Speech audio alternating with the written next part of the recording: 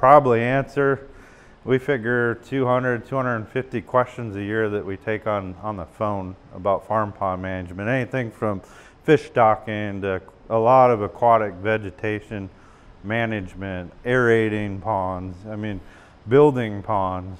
Um, and we can provide advice on all that. Um, question we get a lot is, can you come out and look at our pond? Well, not really. In southeast Iowa, if we did that, that's all we do. There's so many ponds and so many people that want advice. Most issues we can address on the phone.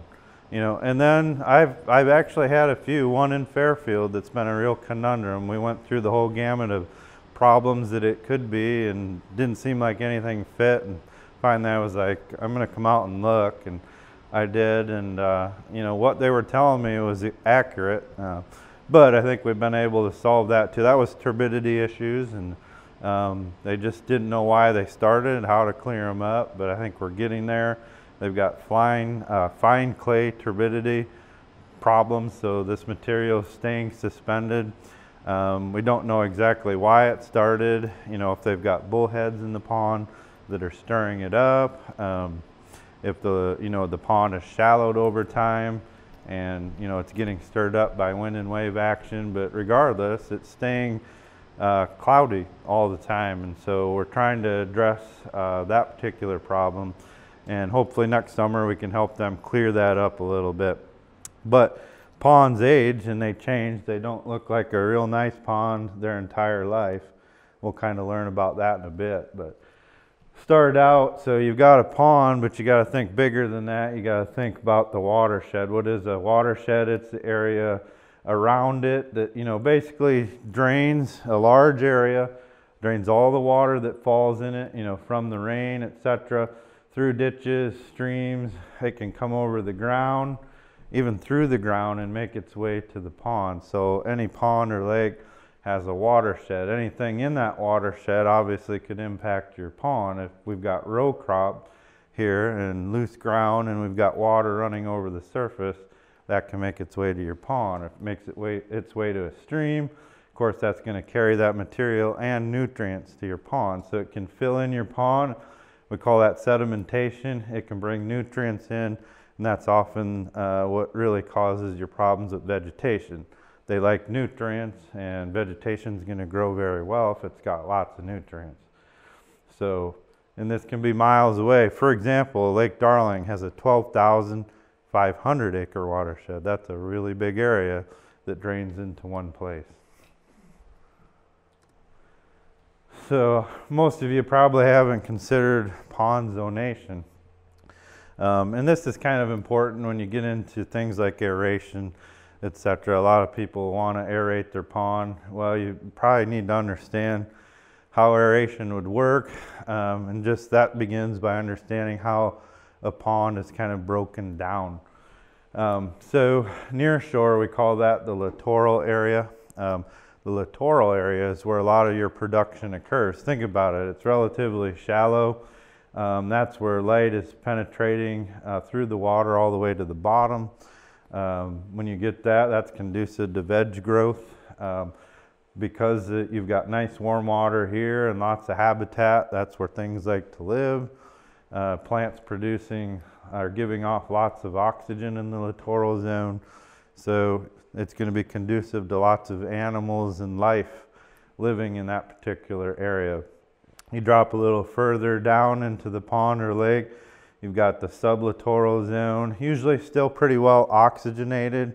You're going to have some plant growth, still some light penetration down that deep, but you know, it's becoming a little bit more sparse of life. There's still some there, but not so much as in the littoral zone. Drop a little further into the profundal zone. Now we're getting down to some pretty dark water, not a whole light, a lot of light down uh, that deep for that matter. Um, so no, not a whole lot of life. Actually, things that are dying up above kind of settle out down into the profundal zone and into that benthic zone down below. And that's where a lot of decomposition is occurring.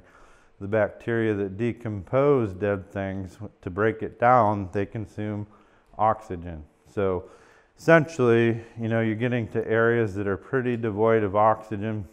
Um, you're getting uh, production of CO2, which I'll kind of explain why that is a little bit later. Um, but you know, this is where you start to develop then, if you look vertically, layers of water. This zone up here called the epilimnion up on the surface is getting a lot of light penetration. It's getting warm by the sun. Okay, the light is used by organisms like phytoplankton or microscopic algae might be a better word that are uh, inhabiting that water column um, and providing food for zooplankton, you know, and then eventually small fishes that supply food for larger fishes, et cetera, et cetera. Then you have down below the hypolimnion, and as I explained before, that encompasses your profundal and benthic zones, not a whole lot of oxygen down there. Why? Well, there's no light. It really, it's all filtered out by the time it gets way down there. Um, it's not, the light is not heating that water.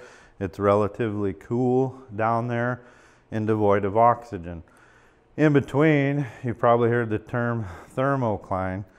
Okay, and that's where you're going to have uh, pretty rapidly changing uh, temperature.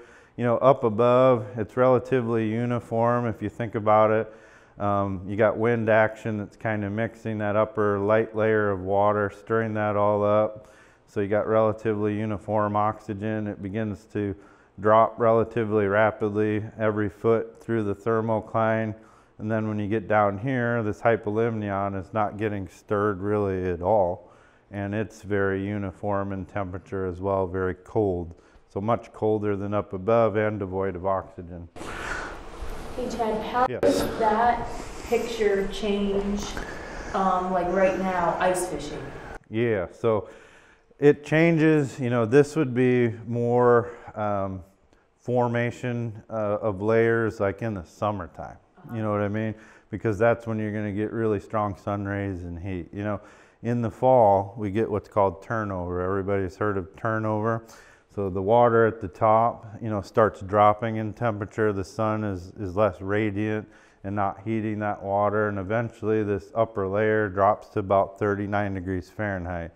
Then we get a windy day and it's going to push that more dense water now down, you know, and then it begins to mix. And it, as it mixes, that's what we call fall turnover. At that point, you don't have this layering effect anymore. The pond becomes pretty well uniform in oxygen. But then, as we go through wintertime, um, you know, things are still dying, things are still decomposing. And now you've got, say, ice and snow on top, little photosynthesis everything that's occurring down here in terms of decomposition and then fish and aquatic organisms breathing or using up the oxygen. And what happens is, okay, so we're uniform top to bottom. A month into winter, you know, we've got devoid oxygen down here again. This layer's got no oxygen. And as we go another month, say into winter, all of a sudden half the pond is devoid of oxygen. A little further into winter, three quarters of the pond is devoid of oxygen. And then we better get ice out pretty darn quick because if we don't, if we have a real late winter with snow and ice, it may make it all the way to the top. And if it does, that's called winter kill, right? So that's how it changes. Now we get a turnover in spring too. Essentially, you know, the ice comes off, you know, your water begins to heat up a little bit, gets real dense and heavy at 39 degrees, and it mixes once again. So it gets rid of, you know, you have a lot of deoxygenated water after ice out, and all of a sudden it takes a breath and it gets oxygenated again. What kind of range depth would you find that thermocline? Yeah, it, right. It can change greatly because, you know, the, we've got cloudy days and sunny days and windy days and stagnant days, but, you know, generally, you know, um, I've seen it uh, in nice clear water, you know, clear ponds, good water clarity. It can be down 10 or 12 feet, you know. Um, you know, some year, well, Lake Darling before we did the renovation was real turbid and we'd have a thermocline set up at three feet, you know. So it can, it can vary. Yeah, previously. Now, now we have much better water clarity for the majority of the year and we're down into that seven, eight, nine, 10 foot range and it can move a little bit throughout the day, you know, depending on angle of the sun and how much radiant energy is hitting the pond and things like that. But big mistake too, you know, okay, you go out in the middle of summer and you know, you got catfish in your pond and boom, you cast down on the bottom and you're waiting for the catfish to come and you don't catch anything. What happened to all my fish? Well, they're not there where you casted your bait because they can't breathe down there. So in the summer, you know, uh, end of July and August, your fish are probably pushed up into this upper layer of water. So you'd be better off fishing with the bobber um, or, you know, fishing along the bank in some of these shallow areas where the fish are likely uh, inhabiting and breathing much easier than they would if they were down below. Make sense? So, So uh, with the lakes up north, it's a whole different dynamic, like, you know, Walker and Pikes Bay and Cass Lake. yep. Do they have fish kills sometimes? Yes, yep. Yeah, sure they would. Yep, yep. Well, and you go up up north. I mean, they're definitely going to have zonation. It's mainly going to be in the summertime, but up there you can have real extended winters. You know what I mean? So, yeah, I mean they can have fish kills, but typically, you know, if a lake's really good size, it means it goes into winter, and I'm talking in terms of surface area, volume. You know, if it's really good size, it's going to carry a lot of oxygen into winter. You know, Minnesota? Right. yeah, yeah. And the reason they make it through is because a lot of those big natural lakes have a lot of surface area.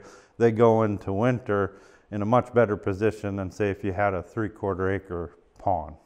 Yeah. Is gonna Sheer volume. sheer volume, exactly, exactly. So most often they'll make it through, but could, you know, a large lake typically won't kill.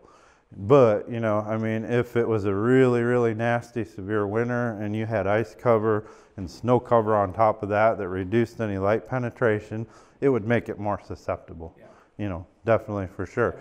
Yeah, smaller ponds are definitely more susceptible to winter So kill. You're ice fishing, theoretically, it's early in the season Yes. right now. right, So the fish are lower, but they'll move up with the, correct. okay, oxygen. Absolutely. Yep. Yeah. So like if you're fishing the same place, you know, just before ice out that you are right now, probably not going to have as good of luck because you're fishing too deep, you know. So, but nowadays we have, you know, Vexilars and Yeah. cameras and we can cheat, you know. So a lot of people still figure that out pretty quick. But this is kind of a similar picture, you know, this kind of uh, alludes to, you know, photosynthesis is happening in an upper layer. Photosynthesis is the production of energy by plants. They're giving off oxygen as a byproduct. That's where a lot of that oxygen then that, you know, animals that are respiring can use it.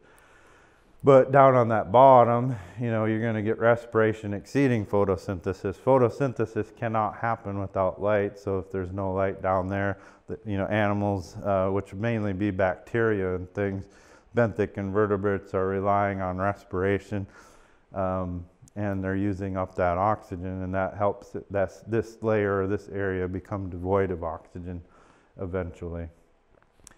So, yep. So you can see that you know, this upper layer, that's really, you hear, or uh, probably heard the term primary productivity.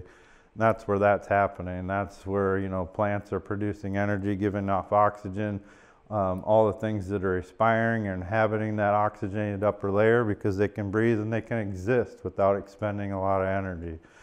They will inhabit the thermocline a little bit. It's still well oxygenated, but temperature's dropping pretty rapidly through that thermocline and they will not uh, really inhabit the hypolimnion because if they go down there for any length of time, first of all, it's cold.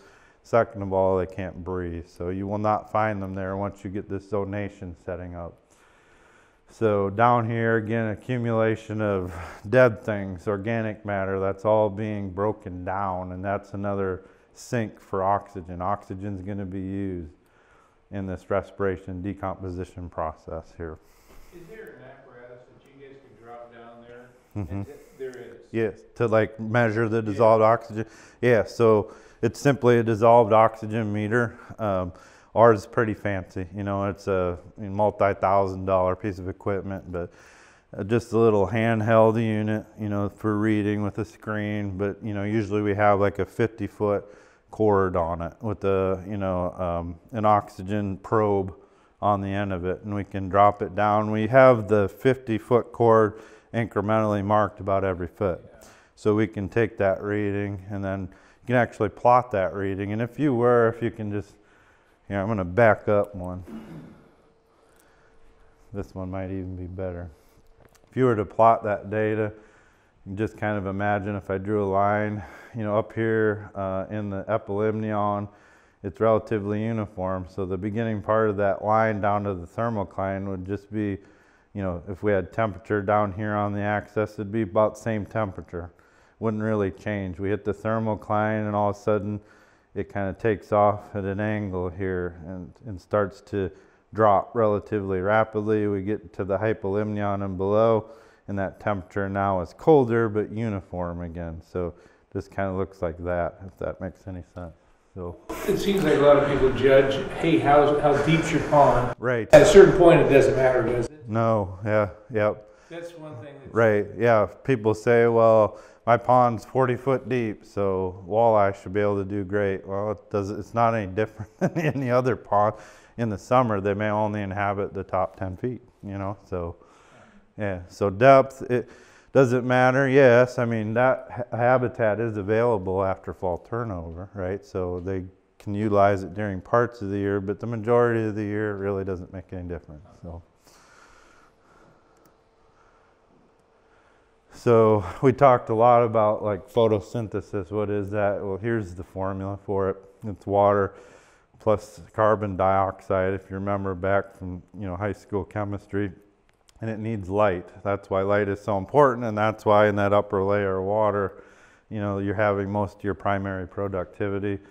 It's producing sugar for those plants to give them energy, and they're giving off oxygen, which is great for animals that like to breathe oxygen, right? That's your dissolved oxygen that we're talking about.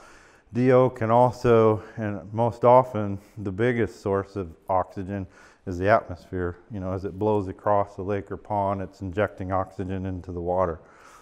Um, aeration. What is aeration doing? Well, the bubbles are putting oxygen in the water, right? A little bit, but not really. You know, what it's really doing is the bubble screen is pushing the water up and mixing it. Why would you mix your water? Yeah. Yep, push it up to the surface and let it get oxygenated and push it back down. So essentially, you're preventing zonation, right? You're keeping a uniform oxygen level. That being said, what if I waited till August to turn on my aerator? Is that a good idea? Yeah, probably not because you're probably layered pretty good at that point, right? The bottom layer of water would be no oxygen whatsoever. So if you mix no oxygen with some decent or pretty low, you know, in late summer, pretty low oxygen, right? You know, um, warm water is not very dense. It doesn't hold as much oxygen as, you know, cold water that is very dense. So you've got lower oxygen levels, plenty to sustain life, don't get me wrong, but lower oxygen levels. Now we're mixing no oxygen with lower oxygen levels and we're reducing oxygen pond wide, right? And, you know, if the oxygen level was sufficient but not super high up above, we could lower it pond wide and actually cause fish kill in some areas by doing that. So aeration really needs to be turned on best time after spring turnover, right? Pond's fully oxygenated. We're going to prevent zonation from ever happening. Okay, could we turn it off in the fall? Well, you could, you know, or you could leave it on all year um, and keep, you know, a hole open uh, on top of the ice. That would be the goal to let oxygen kind of inject from the atmosphere. You know, so timing really does matter. Um, you should turn it on after spring turnover if you're using aeration, and then you should leave it run and not turn it off. Don't be you know flipping the switch on and off all the time. That's not going to do you a bit of good. Once the aeration is on, it needs to stay on. If you haven't turned it on by July or August, then don't turn it on at all. It's going to hurt you more than help. So respiration, a little bit. It's almost really the opposite, right? A photosynthesis. You know, we've got sugar and oxygen that you know these animals are taking in and you know we're going to produce water carbon dioxide, right? So down in the, um, you know, uh, hypolimnion, that deoxygenated layer, remember, you know, CO2 levels were increasing. That's because, you know, bacteria were respiring, they're using up oxygen, giving off CO2. That's why those levels went up. And essentially the goal is to produce energy so, you know, things like us can, can live in, in the case of a pond fish.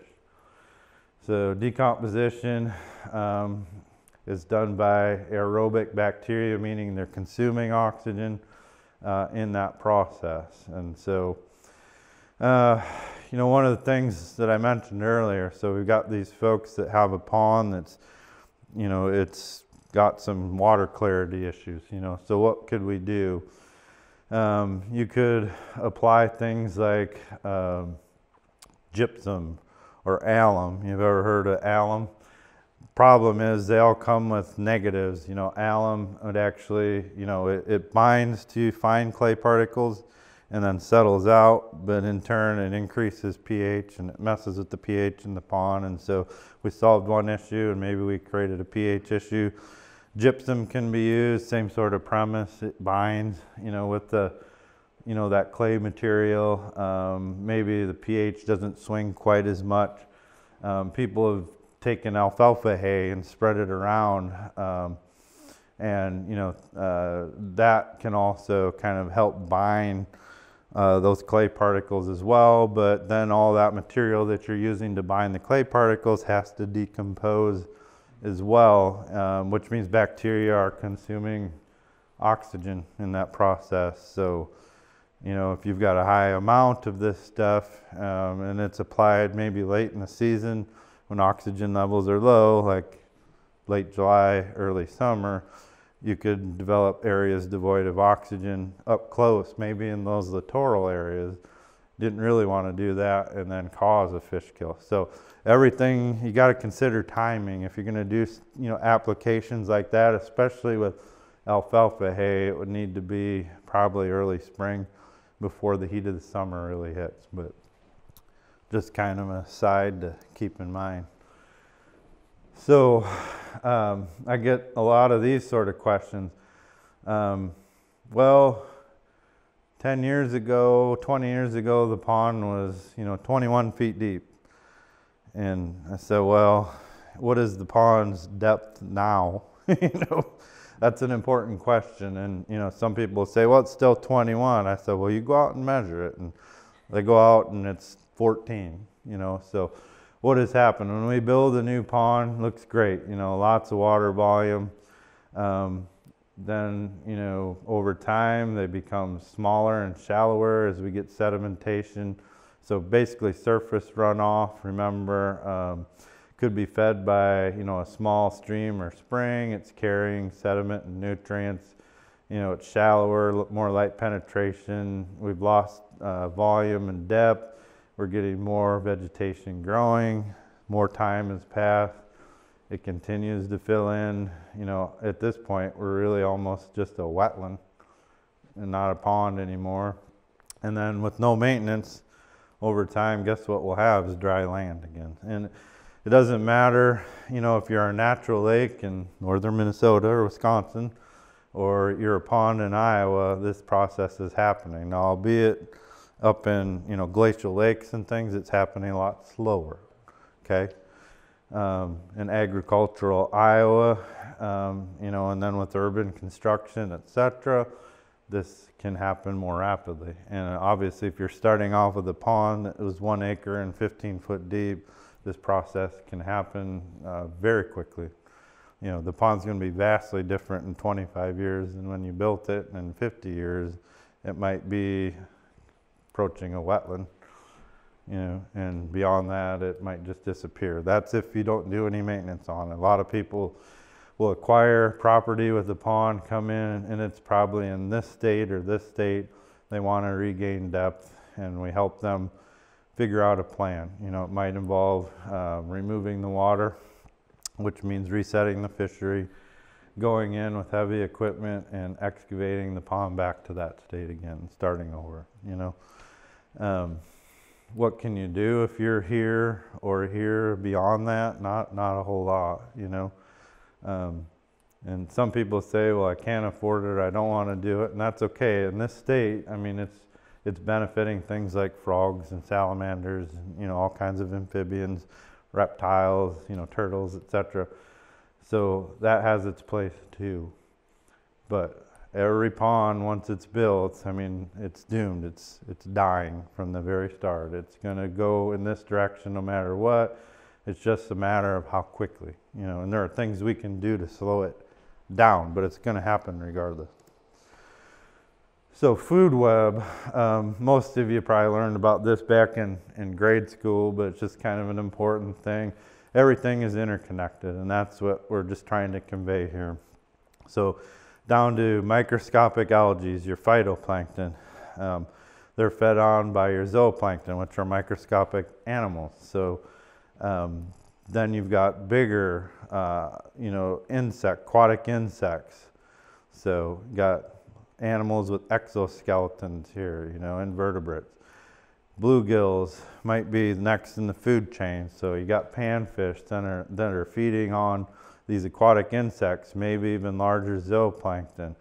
And even both of these species, bass and bluegill, as small larvae, juveniles, are going to be utilizing plankton at first, and then may, might grow a little bit and graduate to aquatic insects, a little bit bigger.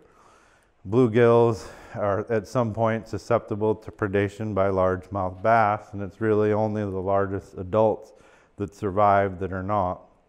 And it's the largemouth bass that are trimming down these bluegill populations and leaving uh, only a small portion of what was produced that accelerates growth because then you have more of these resources available per individual, if that makes sense. So that's kind of key, you know, as you go to stock a pond and understanding the dynamic in the food chain of a farm pond, how that works. If you want to produce big fish, then understanding the food web is important. Now, obviously, that was a very simplistic depiction. It's a lot more crazy. I mean, that's all you can gather from that is, Going back to the Yep. bluegill and bass relationship, yep, I got a buddy who is perch are the only thing that are gonna go in his pond. oh, yeah, But he doesn't have growth of perch, right, or reproduction of perch. right, The bass are this big. right, His perch are nice, but they're the same ones that he put in five years ago. right,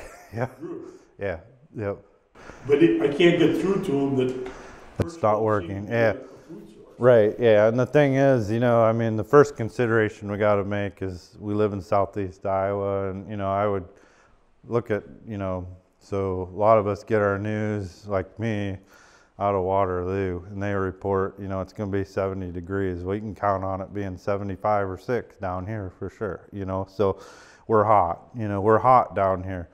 That means that the best fish communities we have are warm water fish communities. Perch are not a warm water species. They're a cool water species. That's why they're prevalent in the northern Mississippi and in Minnesota and Wisconsin, you know, South South Dakota, North Dakota, etc. Yes, northern Iowa. Exactly. So, and do they work well in ponds? Particularly, they work better in a northern Iowa pond than a southern Iowa pond for sure. Uh, you know, but there's a different dynamic, and you'd have to go back and look at, you know, reproductive capabilities. You know, do they produce as many young as a bluegill, and how? You know, um, when I first started, I worked on Lake Michigan, which had a bunch of yellow perch. Well, they kind of broadcast their eggs all over, you know, aquatic vegetation and structure and those sort of sort of things in big strands. That's very different from a bluegill that builds little saucer-shaped nests. You know, that's and, and think about it. You know, I mean, the bluegill's kind of adapted to the environment we have. That's you know kind of what it does. So you've got those differences. So if you're not seeing successful reproduction, the habitat probably isn't there. They're already probably thermally stressed, was my point, or warmer. They're going to be thermally stressed. That's going to reduce growth and reproductive capability even more. Are they successful with some reproduction? Probably, but then they get mowed off by the bass that are really hungry. There's not enough to really make them grow to any sort of length. They're sustaining themselves. It's just you're right. It's a bad situation. It's it's not It's not going to get better. It's just going to continue. Eventually, those large yellow perch will die of natural mortality, and there won't be any yellow, yellow perch in the pond. Pets, right? Yeah. They're pets. Yeah, they're pets. Yeah, they'll, you know, so they the big ones now will provide some good fishing, but as soon as they, you know, succumb to natural mortality, now you're left with a pond full of intermediate sized bass, and that's it. And they're probably going to just get in worse condition because now they have nothing at all whatsoever to eat but each other. So if they are reproducing any, um, they're going to be mowed off. It's a lot of cannibalism at that point. And usually cannibalism will sustain you, but it will not help you grow at all. So we don't recommend yellow perch in, in farm ponds in, in Iowa at all. So, you know, what if you disrupt the food chain? So this is a common thing, especially in our larger impoundments, is you know, some of the bass anglers are like, well, you know, gizzard shad, they work great down in Mississippi, you know, and Ross Barnett Reservoir that's, you know, tens and 20, well, heck, it's probably 80,000 acres for that matter. It's huge, you know. Um, and the key is it's a river reservoir, right? Or gizzard shad inhabited, you know, before they dam that um, particular lake up. You know, that was a, a river system, and that's where gizzard shad inhabit. But here they think, you know, people are thinking, well, I want my bass to grow big like they do in Mississippi, so I'll put gizzard shad in my little lake or pond, and then everything just goes to pot after that. And that's because they function very differently. Gizzard shad are a planktivore, so they feed on that phytoplankton and zooplankton I talked about. Well, other things feed on the phytoplankton and zooplankton, like small sport fish, like your bluegills, your largemouth bass, they all feed on plankton, at least in the early stage of life. So, but now they have to compete with gizzard shad. They get a lot of that food material, which means a lot of these guys starve to death at a young age. They never even get a chance. Um, now, um, let's say those fish are greatly reduced or gone. These fish continue to multiply and feed on that zooplankton and phytoplankton they consume it so that it becomes scarce and then they switch and go down and feed on the bottom of the lake or pond on detritus. So organic material down there, they can actually consume that to get some energy. What does that do? And in turn, you know, they're mixing it up, rooting for food down at the bottom. That increases the turbidity of the lake or pond. It reduces light penetration, which further reduces the ability of any fish for that matter to find prey and feed, especially sight feeders. And so that impacts them even worse. Some of these species may become so deplete or disappear over time. Sport fisheries are greatly impacted where once you had five pound large largemouth bass, maybe all you have is eight inches, if any at all, you know. Bluegill, same deal, they're impacted. Um, because they can't get the food as they become scarce. The bass cannot feed on the bluegill. So it's just a vicious circle. And then the other big culprit, you know, Asian carp, you've heard about those, the big head and the silver carp. They were brought in uh, to control filamentous algae problems in, in uh, aquaculture ponds. So catfish aquaculture pond. Aquaculture ponds are in the Mississippi Delta, and then, of course, the Mississippi River floods and these guys escaped to the river and now we have them everywhere, right? And they're very, very prevalent in sections of the Illinois River, Mississippi River, et cetera, et cetera. And they, they are a planktivore. So once again, just like gizzard shad, they are depleting stocks of phytoplankton uh, and zooplankton and causing disruptions to the food chain. So point of that, don't stock anything in your pond other than what we kind of tell you. And we'll call into our office and we'll tell you what works best. And I can just tell you that's bluegill, you know, largemouth bass, channel cat. You can have those three if you want a fourth. Uh, typically red ear sunfish get a little bigger than bluegills. Um, they're not quite as prolific uh, in terms of reproduction as crappies. Would crappies work? Yes, in ponds greater than 10 acres mistake that uh, often made is people stock crappies in ponds less than 10 acres. If it's eight or nine acres, maybe you get away with it. You know, if you stock them in a one acre pond, A female crappie the size of my hand can produce 350,000 eggs in one spawning event by herself. So even if you have 100 female crappies, 100 males, that's a lot of fish. You're asking your largemouth bass to control usually not only your bluegill populations, your crappie populations. They can't keep up. They'll continue eating until fish are sticking out of their, their mouth, literally. I've seen tails sticking out of their mouth. Once they reach that point, they can't eat anymore. And then these other fish, like crappies and bluegills, keep spawning. In turn, you know, there's not enough resources for those fish and they stunt. That's where stunting, uh, you've heard that term, where, where that originates, is not getting enough food for each individual. Um, so they're small. So the quality of your fishery has been reduced in terms of the pan fishery. So if you had a five or six acre pond, you wouldn't even put black crappie in there? Uh, black, if I was going to stock one or the other species, it'd be blacks because they're less reproductively capable than the whites a little bit. But the biggest issue is white crappies tend to overlap more in diet with largemouth bass, whereas the you know black crappie will utilize a lot of the large aquatic insects or macroinvertebrates as well. And so if you're going to have a fighting chance, I'd say with black crappie, but typically, you know, five or six acres would be pushing it, you know. Now, a lot of people will call me up and say, but I've had them in there for 10 years and I'm okay. And that's probably true. I don't doubt it. But the way crappies operate is a very cyclical pattern in terms of reproduction. They'll have five, six, seven years, you know, of spawning events that really don't produce a whole lot. And then all of a sudden, they have the glorious one. They'll just spike. And then from there forward, you're just ruined, you know you know, it, there'll be a little bit of a lag, you know, as those fish are produced and start to grow big. But the point is, is once you have that big, massive spawning event, then the whole pond just kind of goes to pot again. You know, so now in some cases, people have gotten lucky and gotten, you know, 15 years down the road before they have that, but it's coming. You know, that's the point. Eventually, it's coming.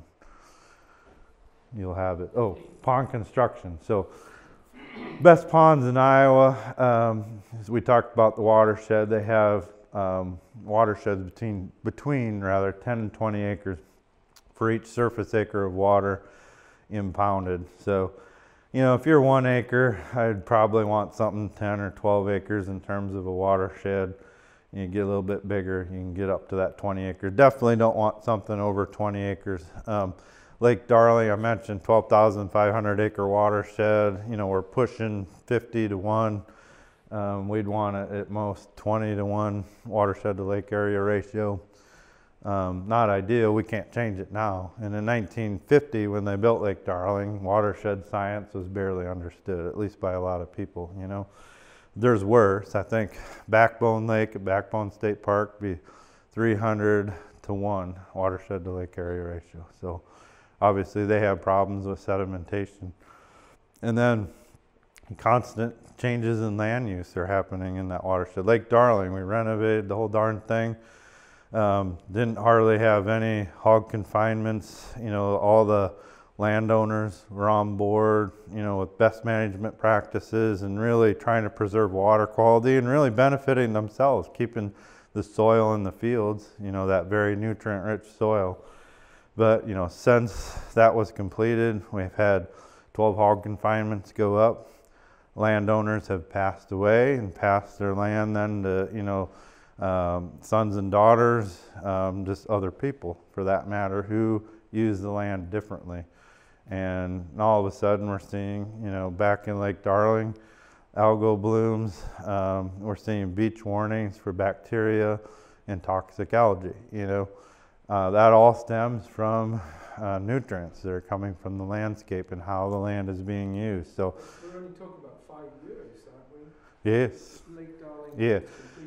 Yes, yes, and and I'm not saying by any stretch, oh, we're back in the same situation because we're not even close. I mean, Lake Darling is better than it's ever been, but the fact, you know, people come to our beach and they're like, I, I thought you fixed this, you know, and all of a sudden there's a beach warning there again. What's going on?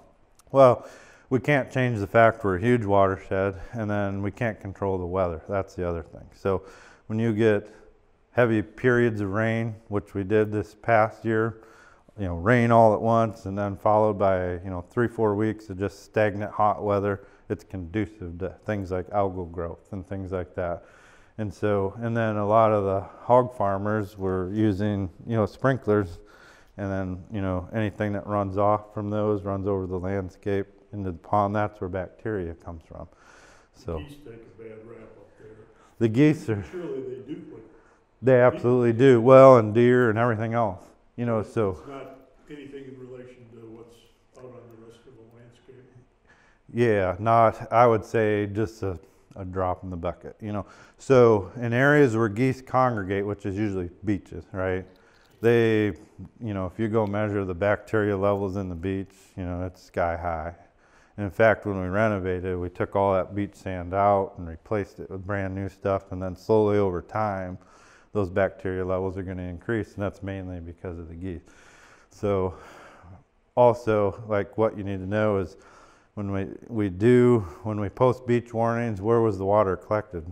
At the beach, right? Right off the beach where the geese had been. So it's kind of like a loaded deck already, but it can still be a good indication of what's coming in as well. And in other areas, like we thought one day, holy moly, what happened here? It looked like manure coming in in droves. What it was is a big blue green algae bloom that had died and then the stuff was all clumped up and decomposing and it looked like you know little like spots of manure all over the place.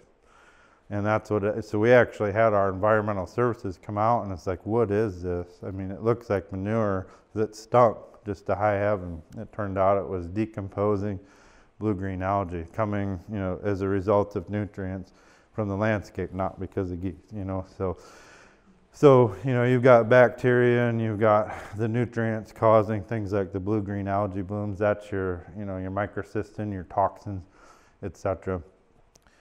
Is that a huge, huge deal? Probably not. I mean, people make a big deal of it, but it's like, to me, it's like, you know, you could probably get cancer from strawberry pop, right? If you drank a whole bunch of it. You'd probably have to drink 250 cases a day. The problem is you can't you know, you'd die of water poisoning before you ever died of, of cancer, I guess is what I'm saying. So, blue green algae, am I saying go out and drink it and swim in it and blah, blah, blah? No, but I'm saying that, you know, the risk of any serious health effects are probably minimal. Now, it can cause irritation and itching, and then also what I've seen is if you know that blue green algae is there, a lot of people all of a sudden start to have symptoms. You know what I mean? So, but but that being said, now blue green algae can can cause those sort of issues for real. And you know, pets, if they ingest a lot of that water, they're a lot smaller than we are. It can be an issue. It can be sickness or even death in some cases. So, but now just because there's a beach warning doesn't mean every area in, Lake Darling is laden with toxic algae either. You know, it might just be this little place here and then it moves because the wind blows it over here, you know, and then it blows it over here. So, um, yeah, some other things on there. Bank slope. When you're building a pond, typically you want your banks about three to one. So in other words, you want to get from you know the the pond, uh, the edge of the pond, to deep water fairly quickly, if that makes sense. You don't want you know to be able to walk 20 feet out in a foot or two of water that's, you know, where you have two feet depth, you know, the sunlight's going to hit the bottom. And where it's the bottom and we've got lots of nutrients, we're going to get plant growth growing up in those areas. So the more shallow areas you got, more vegetation that you could potentially have. So if you consider that you want to get to deep water pretty quick, that's a good way to kind of avoid vegetation problems and protect the health of your pond long term. Now, uh, this might be hard, you know, in our state, but obviously, um, row crop in your watershed that we talked about isn't greatly desired. So if you've got uh, row crop right up to the edge of your pond, then you're probably going to have sedimentation and nutrients. That's just a fact, you know. Um, same deal though, if you build a pond in a new subdivision and there's lots of construction going on for 10 years, you're going to have the same problem. And in a new subdivision, people plant grass and they fertilize it, right? Same sort of issue. So, you know, urban situations can be just as bad. They're both going to contribute silt and nutrients. And you know, obviously, fish populations are drastically reduced when you get sedimentation and nutrient problems that can cause issues uh, via you know disruptions to the food chain because sight feeding fish can't see, or decomposing vegetation that results in low oxygen conditions. So ponds can be used for livestock watering. That's something people may not be completely familiar with by running a small uh, pipe, you know, through the dam and then feeding the cattle behind. And the reason we do that is so the cattle aren't on the banks of the pond stomping the banks of the pond, making them very loose because you get wind and wave action that's working on loose material. It's going to break it down and contribute sedimentation and turbidity to the pond. If that makes sense. a weird. Sure.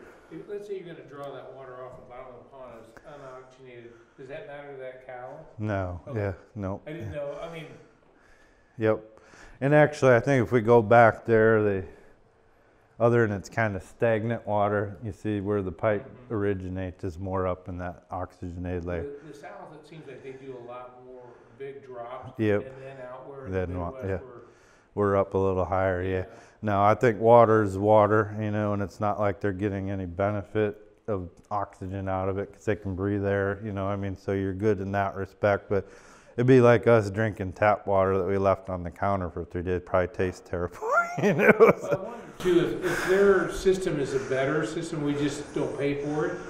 Because when we built our pond, hmm I thought about doing that. Yeah. It was gonna be a lot more expensive. Right. And we had a two-foot drain is what we needed for our pond, but huh. I thought it'd be cool to do it that way because I thought it might be a better system. Sure. And then you can screw it down and let the water level out to fix stuff. Yeah. Right. Yeah. But I didn't know if that was a, actually a better system that's drawn off the bottom or not. Right. It'd be colder. It'd be colder water, but it would be, I would call it more stagnant water, you know. So then again, it might be, you know, and a lot of people know better than I, you know, the cattle like to drink stagnant water. Like we have rabbits at home. My wife or daughter has a whole herd of rabbits, you know, for 4 H. And those darn things are finicky. If they don't like something, they don't eat it. And, you know, early on, you'd be saying, well, eventually they'll get hungry or thirsty, they'll eat it. No, they won't. They'll starve themselves to death. So if cattle are anyway like that, then there might be a problem with doing. When we talk about vegetation on the edge of the pond, I mean, we're, Yeah. been talking about algae and, Yep. and moss and that kind of stuff. Mm-hmm. Then there's other stuff like cattails. Yes. Yep. Different kind of vegetation. Yep. I, I think of that veg, uh, cattails as good vegetation. Sure. Yeah, and it can be, but it, then it might not be either. It just depends on how much, you know. So. But it's, it's hard to grow in every pond. Mm-hmm. Uh, Some have it and some don't. Right. Some have it for a little while and then boom, all of a sudden it's gone. It's gone. Yeah. This, Yeah. this buddy of mine that has the perch in the pond, Right. he wants cattails uh, terribly, Right. but he can't. He had them the first year Right. or two years in his pond, then they went away, and he's Sure. blaming all the neighbors for dumping every chemical. Right, right. Yeah, I, that's an interesting thing. So cattails are an emergent, you know, so most of their plant material is up above the water, you know, so it's not like they're not getting sunlight, etc. They have grass carp in the pond because they would, okay. I was going to say that's a fish that would kind of pick at, you know, probably the root, you know, bases, etc. Could be sedimentation, you know, uh, you know, as the plants senesce, you know, in the fall and winter, you know, and that above ground stuff goes away and they get buried you know, eventually, you know, I would say the tubers are still there, but they're not getting the light that they need to sprout and go. You know, if there's turtles in the pond, I've seen this happen in areas of typically not a problem for a farm pond, but a backwater of the Illinois River was so abundant with turtles that you know any vegetation that did try to sprout, ooh, must be the clock.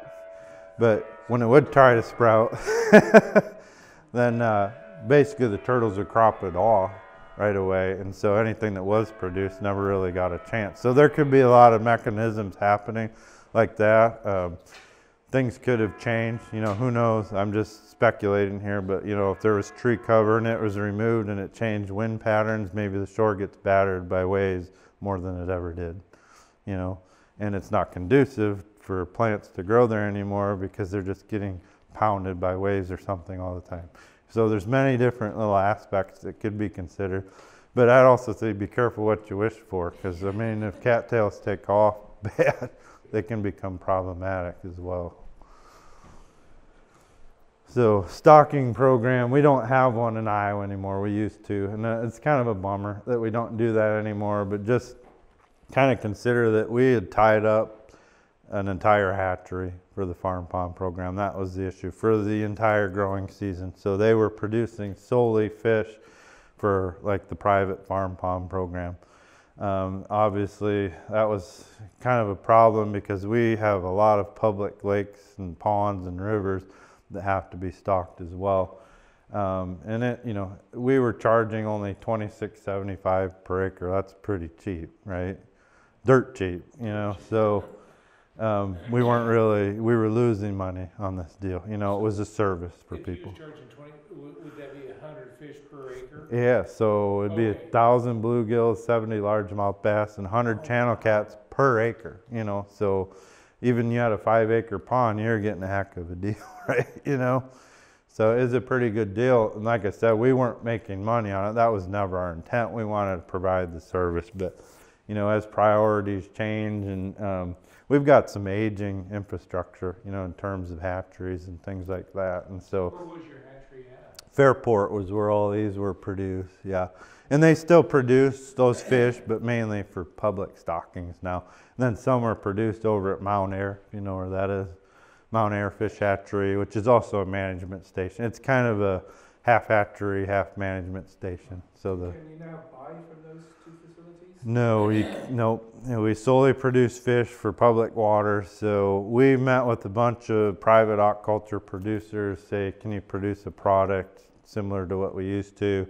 And those, you know, there's some criteria that they've got to meet, but basically they're certified producers that we kind of approve of. And, and you have to go through their difference now is they might charge you $300 an acre, you know, so, but, and that's probably more of a normal price. This was pretty darn, darn good, you know what I When mean? did you So, guys quit that program? uh, 15, so Okay.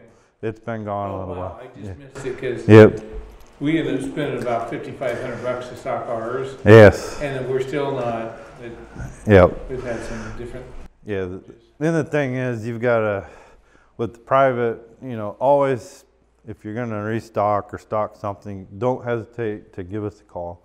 You know, because we're gonna shoot you straight on, you know, what's gonna work, what not, and I've told you a lot of that tonight. You know, grass carp can be okay, but typically in a lot of situations they're not good. You know, so and there's things like, you know, walleye, could you stock them Would they live? Yes, they might live, but are they really going to provide you any benefit? No. You know, I mean, there's, and, you know, we've gotten some crazy, crazy requests for, you know, fit, well, tilapia, you know, those are really technic, they're illegal to be stuck in, you know, in Iowa ponds, but people want to use them to control like algae and things. But that's the thing. Uh, if I had to say anything about your pond, is like, think about in a like kind of a, at a bigger scale when you think about your pond don't try to control the symptoms try to control the problem you know a lot of times so we've got bad algae and bad plant growth we try to attack it rather than attacking the reason we have it in the first place if that makes sense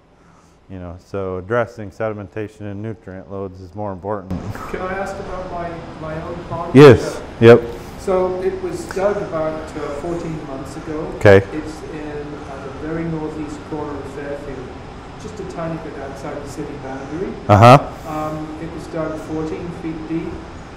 It's maybe three quarters of an acre. It's almost characteristic of uh, what you've been saying. Yes.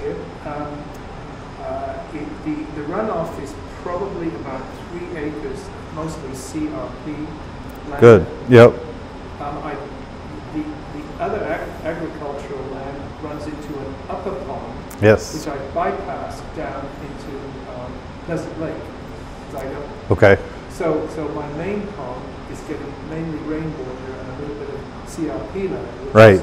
That's good. clean- Cleaner. Yes. It's, it's a very clean pond.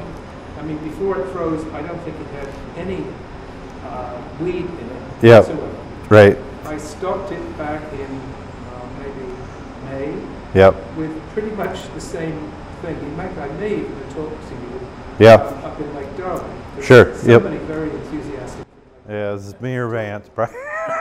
talk, talk to me. Yep. Yeah, and, um, you know, I'm a complete neophyte. I, I do not, so, so I've got this very clean pond. I was swimming in it really comfortably. Yep. Um, now, of course, it's iced over. Actually, my fish are going to be pets. I don't, I'm not a fisherman. Yeah. Um, and I'm worried about them because they're under six inches of ice. Are they going to live through the winter? Yes. Most likely, yeah. Be, I got that, and, and I got 11 uh, white amur. those are grass carp. Yeah. Okay. That's way too many. Way too many. Yeah. So technically, by our stocking ratios, you should have three quarters of a grass carp, but that isn't possible. So you need one. Just one? Just one. Yep. So um, Well, are they going to die then? Because there's not enough, there's no weed. I mean, there's Yeah, possibly if you have no ve- vegetation, they might starve to death. You know what I mean? But the reason you might be just totally devoid of any of that, they're going to focus on eating submerged rooted aquatics primarily. So like algae and things, grass carp don't really eat that stuff. Um, that's not their preferred food source, but they'll find any rooted plants, like we call it seaweed. You know, you might heard that term a lot.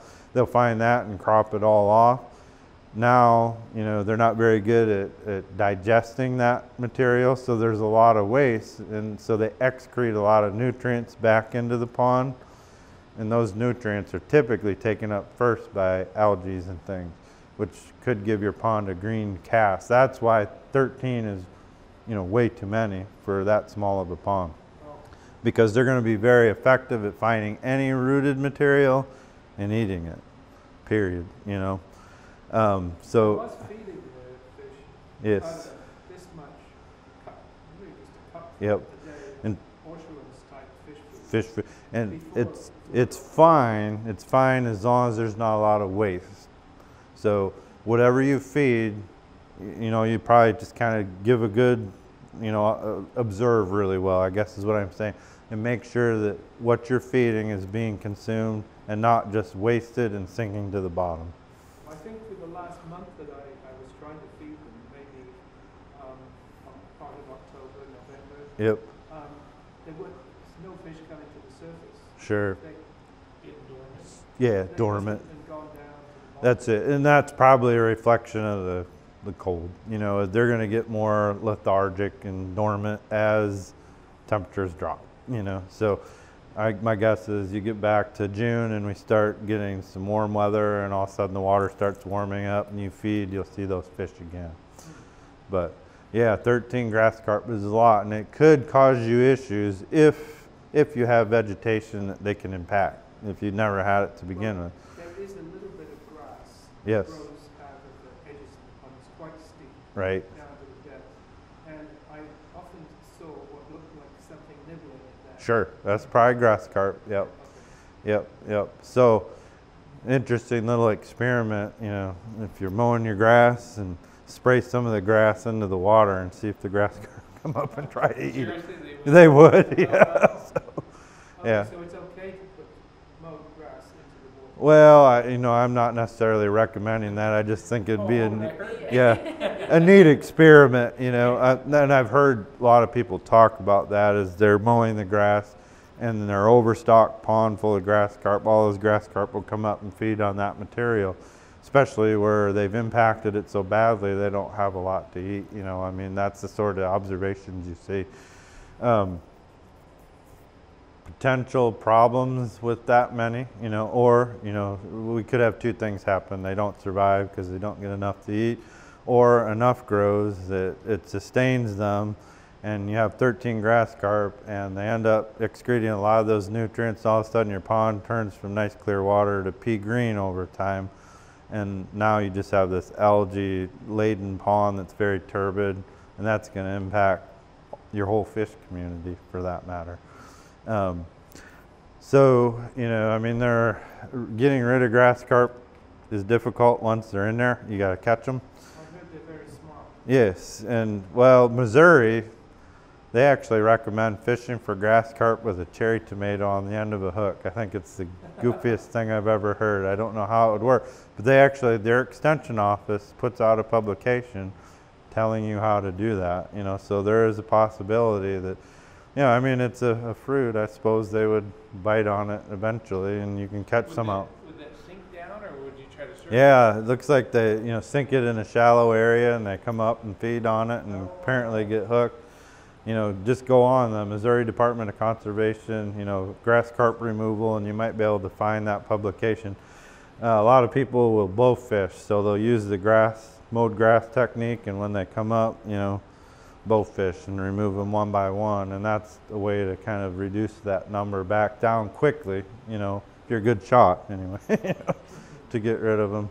Um, but yeah, they could they could cause you trouble. I wouldn't panic yet, but just kind of keep an eye on that sort of situation. But I think your fish will be fine and they will survive the ice as long as we don't have a really severe winter. Like if we had these sort of temperatures extending into late winter, uh, we had really thick ice and then we get heavy snow on top. So far we've gotten snow and then it's melted quite a bit, right? I mean, so that's okay, you know, but if we go through periods where we get, you know, whatever, let's say 10 inches of snow or more, yeah, and it never, yeah, exactly, and it never melts, and we keep getting more on top of that, and we, you know, little bit of snow, some light can still get through. We build more snow, less light, and more and more, nothing.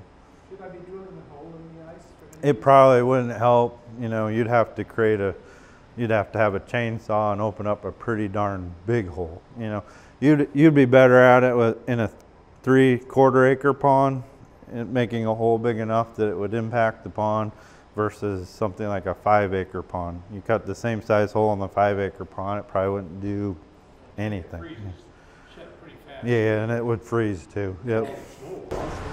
Yeah, I, I also seem to have very muskrats. oh yes, yeah. take- Now, my dam is very slow, mm -hmm. slope at the back. Sure, It slopes right down to Pleasant Lake. At the front, it's steep like this. So they'd have a heck of a way to get all the way through to the back of the dam. But still, should I attempt to catch them and transfer them into Lake? Yes. Lake?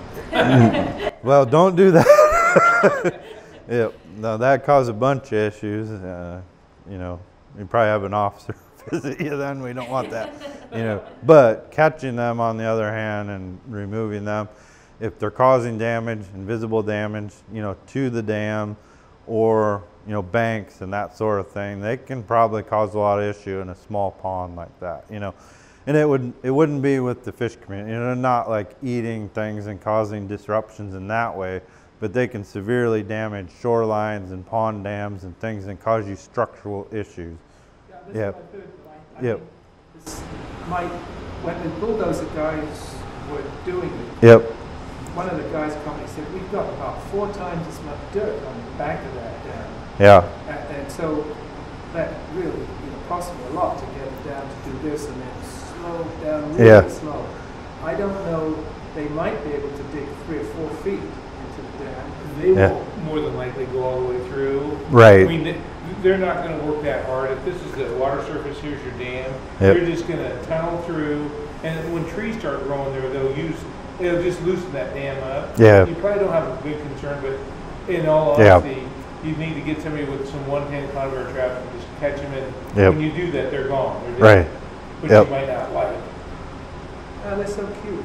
They are cute. I mean, they're really There's always another one that's. cute. Right. Well, see, you're probably getting muskrats off number two pond then.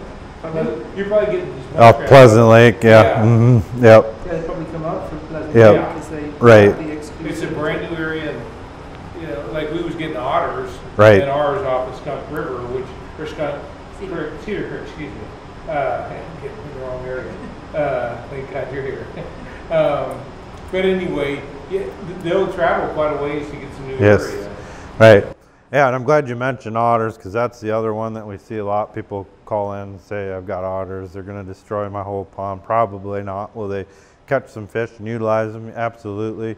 But usually, otters are uh, uh, an animal that will kind of take their fill and then, you know, as numbers start to decline, they move on, you know. And on that, what I've heard, I used to trap a lot when I was a kid and in the, my twenties.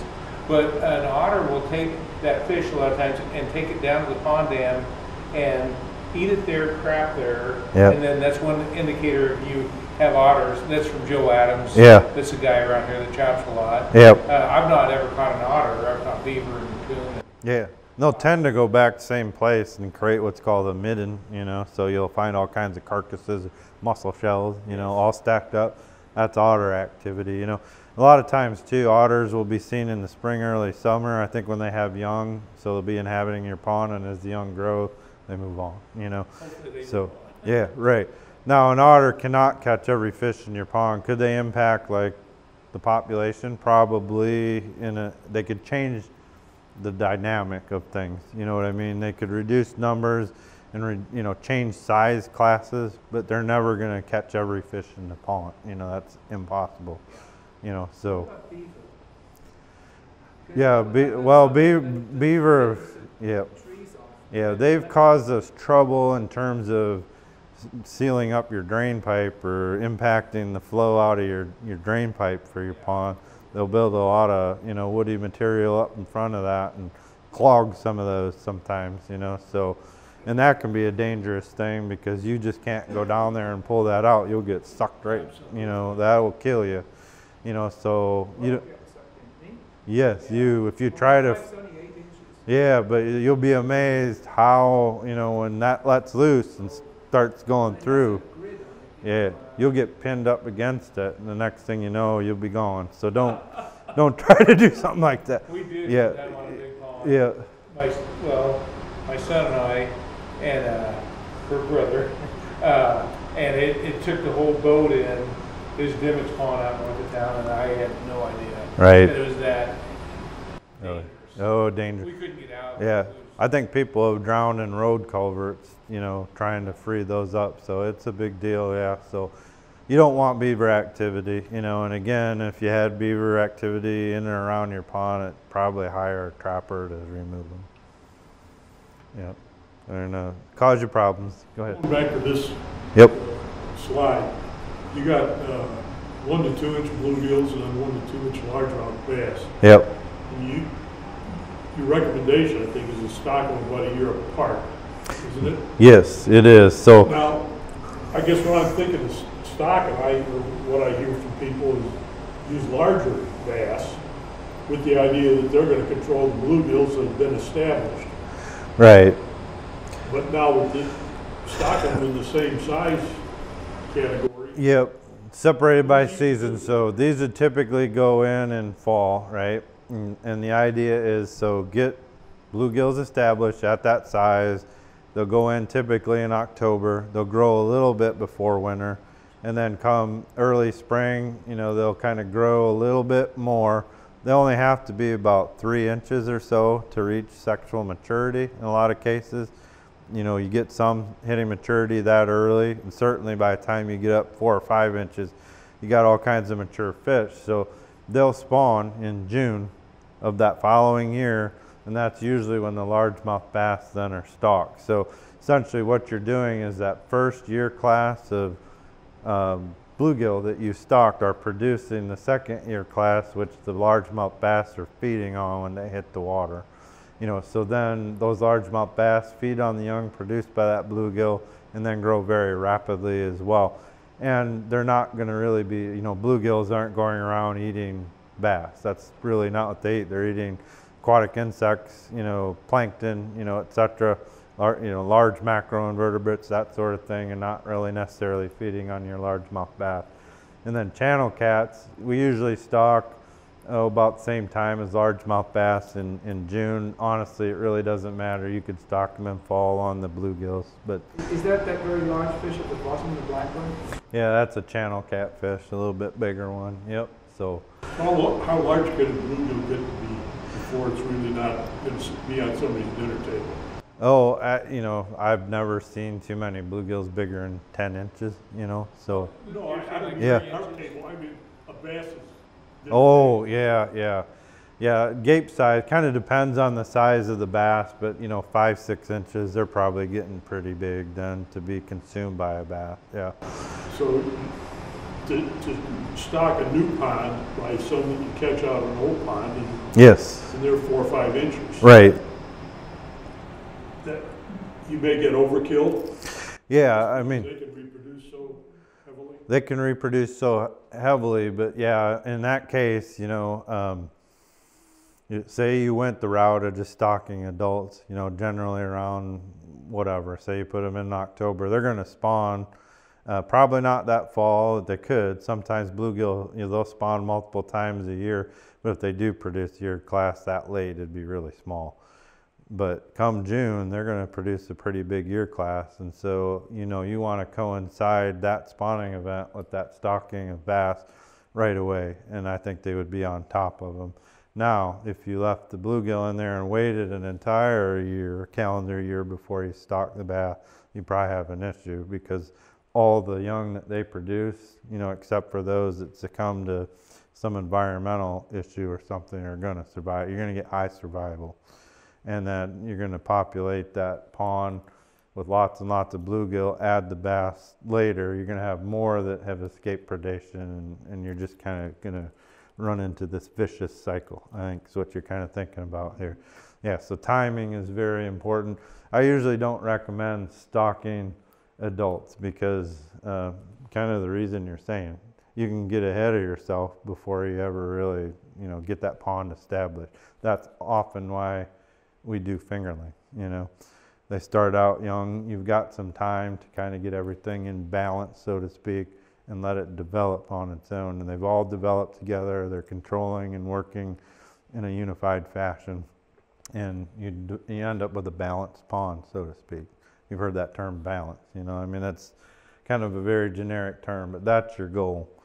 In fact, I think we're talking about some of that timing, you know, in the next slide. So um, you saw the numbers there. Those were the fingerlings that we used to stock through the farm pond program. They were a little smaller. You go to private aquaculturists nowadays, and they're going to give you a little bit larger product, and that's okay. But you'll notice the numbers are reduced from what we used to recommend, right? And that's because the bigger you are, the more likely you are to survive. That's just a fact. You know, if you're small, you're fragile. You know, uh, you're more susceptible to predation. So that's why we're able to reduce numbers if you stock a larger product. So I've got juvenile um, stocking rates at those larger sizes. That's generally what you're going to get from a private aquaculturist nowadays. That's what they've told us they can provide you. And then if you went the adult route, like you were suggesting, this is what it would be. Um, you know, I don't list anything for adults for catfish because, you know, you're getting them at four to six inches anyway, and, and they're getting kind of up there. They're not going to be susceptible to predation. You can still stock juveniles four to six inches along with your adult bluegill and bass and do it. You could do that. I don't know if I necessarily recommend it because, as you already pointed out, you know, if you do have a glorious spawning event, you could set yourself back right off the bat. You know, if you've got sexually mature fish producing tons of young right away, that could be problematic. So we did, uh, ours is a shy six acres. Yep. So we did six hundred catfish, uh, catfish, six hundred bass, Yep. red ear and normal bluegill. Okay. But it seemed like the catfish just flourished way too much. Yep. Was they eating a lot of our good stuff? Um, potentially, the, the bigger thing is that they have a lot of habitat and interstitial spaces to inhabit to escape predation. You know. We had seventy culverts. Yeah. Yep. Uh, Fifty, A lot. yeah, Yeah. a lot. we had a lot. So it sounds like to me that you gave them prime habitat. You know, they're going to be a cavity spawner. You know, um, so they're going to inhabit those culverts and those interstitial spaces. And then, you know, the, the male catfish protects that school of young that's produced pretty aggressively.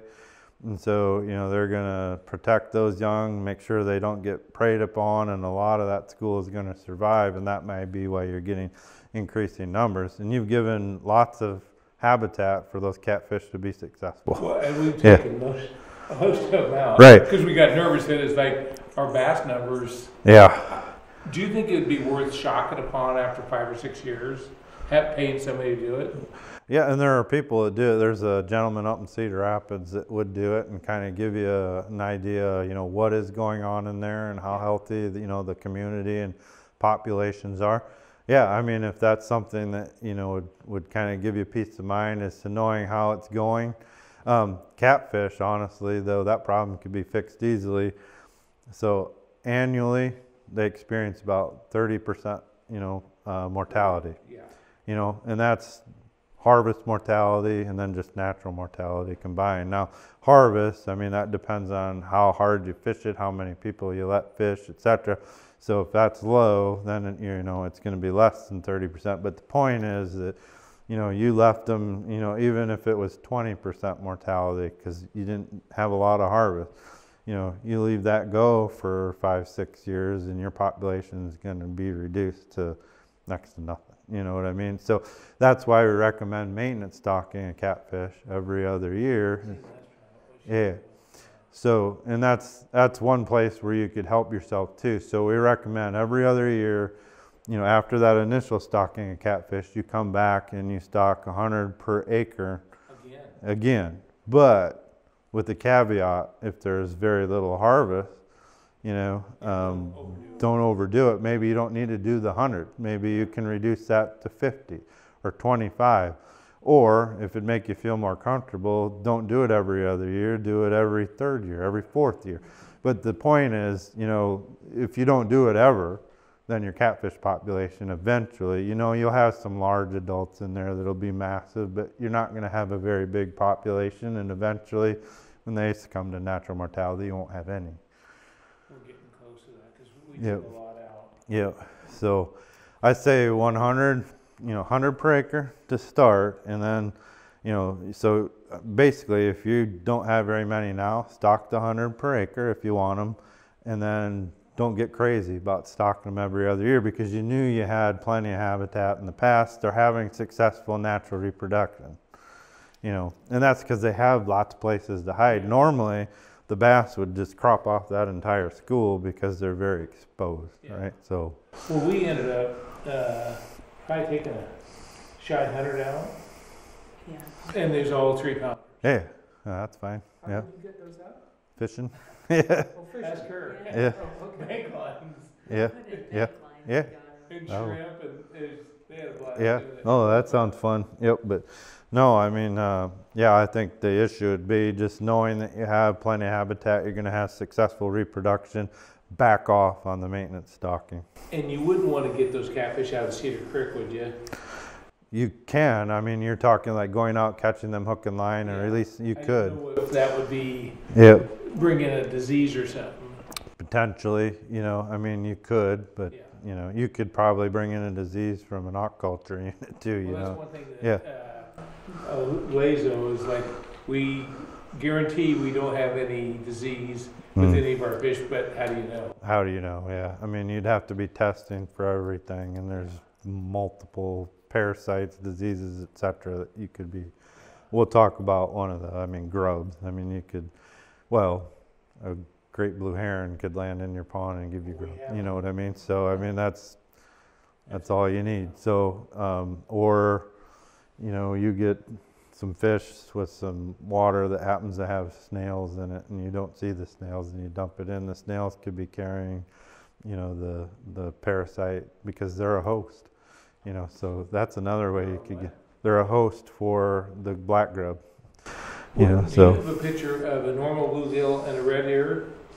Because I got, we, we we was that, I don't know yeah. if it's, Let's see. Here's a bluegill.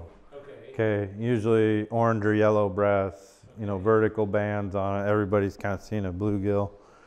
And then a red ear, similar looking, but a little bit different. You know, it's not so orange right up here under the head, maybe a little yellow coloration on the belly. Um, it has vertical bands, but the biggest difference would be hard to see on here. But that ear flap you see on the operculum or gill cover, it's going to have a bright red swash So on like it. that's a normal one. That's a bluegill. Yeah. Okay. Yep. But now, those are, the red ears called bluegill too, or, No, red ears are red ears. So oh, they're strictly? yeah, yeah. Down Not south, you might hear them called shellcracker. Okay. You ever heard that Oh, term? I have, Yeah, shell crack. Well, but down south they call everything brim. I think you know what I mean, and that's a generic term for any sunfish. But oh. shell cracker would be the southern term for red ear sunfish. Okay. Red ear sunfish typically they're less reproductively capable, so they produce less young. Yeah, that's a good picture. I think Yeah. that's you. Yeah. Okay. Yeah, that, that looks like that one pretty much. But yeah. Um, Okay, so here's your red swath. okay. See that difference? Oh, yeah. Yeah. hmm I don't know And personally, wrong with those.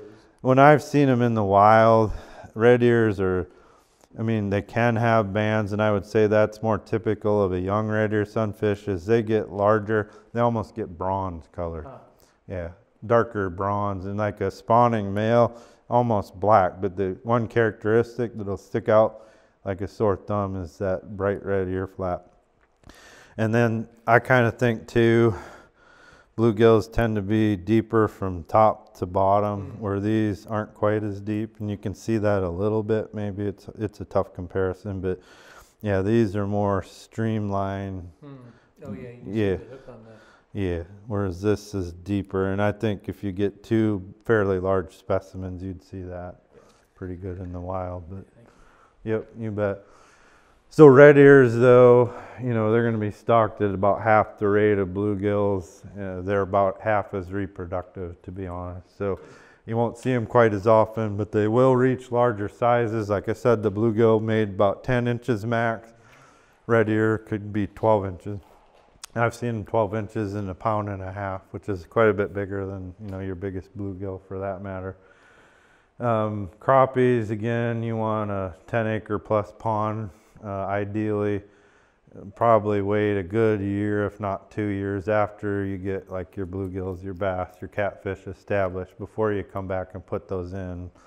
Again, kind of alluding to what you said, you don't, if you put them in right away, right off the bat, they'd have a glorious spawn, especially if there was no predation.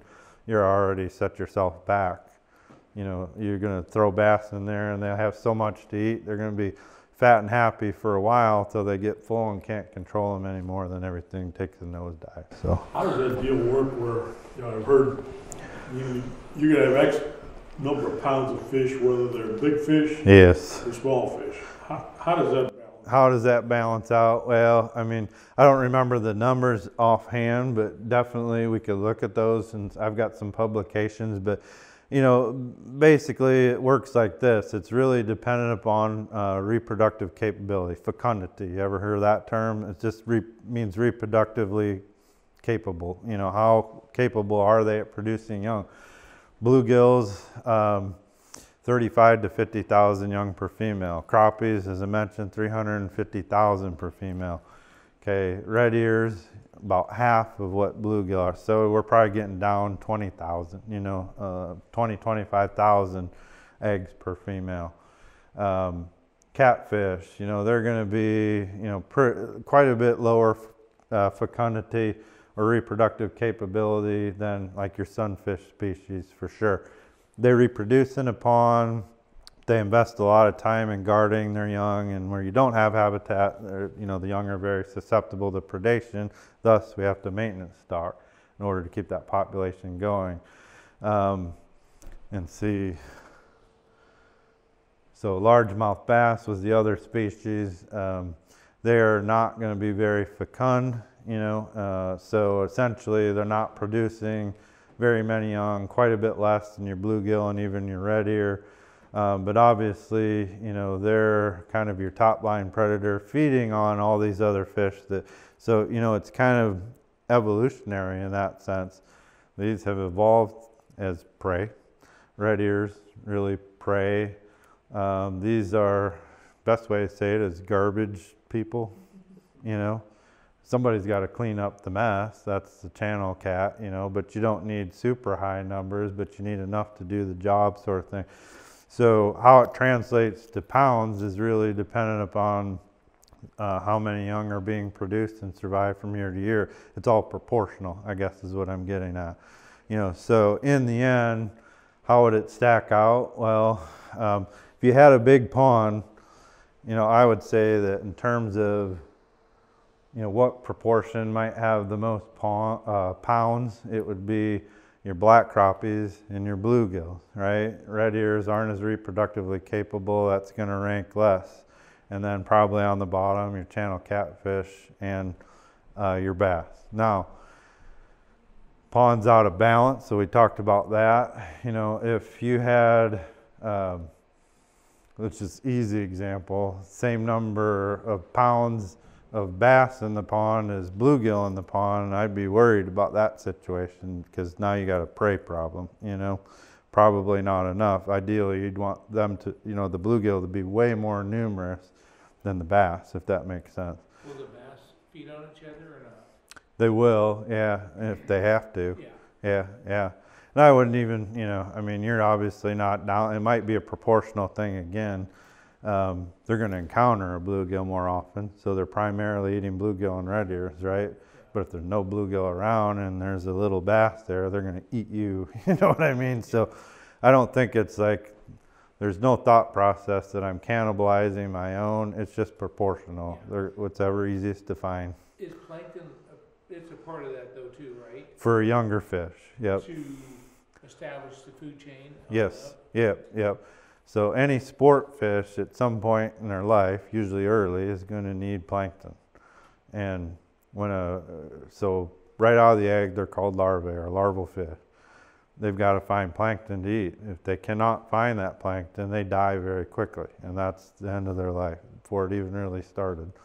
So, like, good example when we stock walleye, you know, we do it annually every year, you know, in ponds across Iowa, and we'll stock millions of larval walleye in a particular water body, right? We know that once every five years that stocking was successful. Why wasn't it successful the other four? Because the timing wasn't quite right. There wasn't a plankton base for them to find same time. But you know, problem for us is the walleyes are ready when they're ready, right? We you know, the adults spawn, we have to go catch them. We have to get the eggs, we have to fertilize the eggs and produce them. And once they're produced, we got to get them out of the hatchery. We can't hold them forever, right? We can't hold them very long at all. So we go out and we stock them. Well, we might have missed the plankton bloom, you know. So just the odds are that once every five years we hit it right on the head, and that's enough to sustain fishing for years, you know. So. Um, is there any reason to be putting any kind of pond weed in one's new pond? I, I wouldn't, I don't think you have to go plant, you know, aquatic plants on your own. They're going to get there. Most likely, um, what we've seen is people build a new pond, you're going to get waterfowl and things coming in. And I would say that would be a source. Not that they're carrying it, but they probably consumed it, right? And a lot of the seeds for that stuff, you know, they have to go through the gut to be able to germinate anyway. So they're excreted and, you know, plant themselves, and then you get uh, things growing um, in your pond, you know, plants of all kinds. But Water hyacinths, yes, yeah, yeah, yeah. So I would say like stuff like he's talking about. Don't go to the pond store and buy stuff like that because usually what they have are tropical plants, you know, um, and a lot of those unfortunately will survive. And they cause all kinds of trouble, and especially if they're released from your pond and get into a public water body, we can have issues. Uh, I noticed in the uh, north end of Bonifield Lake a couple Mhm. of years back, Okay, there was a huge growth of curly-leafed pondweed. curly leaf pondweed, yeah, I yeah. actually reported it to the council. Yep. They didn't seem to. They didn't Care too much. reaction. Yeah. I know that there's, there's It is an it's an invasive and it's an yeah in Iowa with cur- curly-leaf pondweed. Curly pondweed yeah and that's spread around again by probably waterfowl and the other source would be boats boat traffic. So that's why we have AIS techs that come and check you at ramps. What they're really doing is looking and see if you got vegetation on your trailer you know on your boat if you got water in your bilge to try to prevent you from then going to the next water body. And because people do that they'll hop out of one lake and go to the other because this one didn't have good fishing that day and they'll spread it around So if I could take 10 of my 11 um, yeah white out Yeah. of my pond, Yep. put them in Bonifield Yep. Would that help? Well, the officer would probably show up at your house again, so don't do that. so yeah, but would they control the curly leaf pondweed? Yeah, they Well, probably. the- I- mean, Yeah, they would eat it. Yeah. They would definitely eat it. seem to be afraid of Yep. grass carp Right. for some reason. Yeah. They don't reproduce. Theoretically, you know. Have you ever seen the movie Jurassic Park? Yeah. Yeah. If anything you can gather from that that's truth is life finds a way. You know what I mean? And that's an accurate statement. So um, what we found is uh, they're supposed to be triploid, except when they leave the place that supposedly produced them is all triploid, they don't check everyone. You know, there is no, you know, checking of that whatsoever. So diploids make it out and then we, you know, we're not, I can tell you, I did a rotenone study. If you're familiar with rotenone, it's fish toxicant. We'd block off quarter acre sections of backwaters on the Mississippi River and we'd treat it with rotenone and we'd neutralize it with an antidote on the outside called potassium permanganate. So we were minimizing kill outside the block net. One particular area in the Mississippi River, it was thousands upon thousands upon thousands of grass carp that big. So, you know, they weren't, you know, there wasn't a grass carp truck that just fell, you know, off the road and dumped them all, and those were produced in the river system. So, These are different than the big, big yes, yeah, grass carp. I think I got a picture. We get going here, but let's see what's next. Okay, it's gonna be up the road, but yeah. So um, grass carp, um, they're different. They primarily focus on eating vegetation. Okay, and whereas you know the Asian carps are primarily focused on eating plankton, whether it be um, phytoplankton, filamentous algae, or zooplankton. They'll eat both. They're a filter feeder. They actually open their mouth and ram against the water. They call it ram feeding. So they're pushing a bunch of water over their gills, and their gill rakers are filtering out that plankton. You know, whether it be plant or animal, and then they consume it. So, or grass carp is going to be targeting rooted vegetation and breaking it off and consuming it and you know getting 10% of the energy and excreting the rest back into the environment is other plants. You know, so anyway hybrid sunfish it's a no-no don't stock them uh, they're not completely sterile so they reproduce but their reproductive output's greatly reduced. Um, problem is like if that were the only um, prey base you had in the pond they cannot through reproduction sustain the prey demands of bass. And so you're going to end up with stunted bass. Since these aren't uh, completely sterile, they'll back cross, you know, so you take a hybrid that, you know, breeds with another hybrid, they back cross again, and then, you know, this sort of situation, and that's a camera trick, by the way, you know. I know this one really well. You know, if I get a fish and I hold it out like this, it looks huge, but, you know, if you pull it back, you can, yeah, exactly. so there's not as big as it looks, but it's it's still a good fish. Don't get me wrong. But when you see them like this, it's usually a first generation hybrid, usually between a bluegill and a green sunfish. That first generation uh, can exhibit some hybrid vigor and be pretty big like that. But then when they back cross, they lose that, and they back cross again, they lose a little more and eventually you got fish that are small, stunted, green sunfish looking, you know, fish, and nobody wants those. Then they call us and say, "That's all I got is millions of these fish about that long. What do I do?" Apply How far is rotenone. Legal to sell them for. Yeah, good question. Um, they are they are a hybrid of native fish species, and I guess that's the only reason that they are. And you know, people have stocked them in combination with native bluegill, but I think it's kind of a waste too. I mean, it doesn't necessarily cause a ton of harm, especially if the hybrids are stocked in a very small proportion as compared to the adult bluegills. But then what's going to happen is they're going to just hybridize with the bluegills and kind of lose, you know, the hybrid vigor and really transition back to a bluegill again at some point, you know, many generations down the line.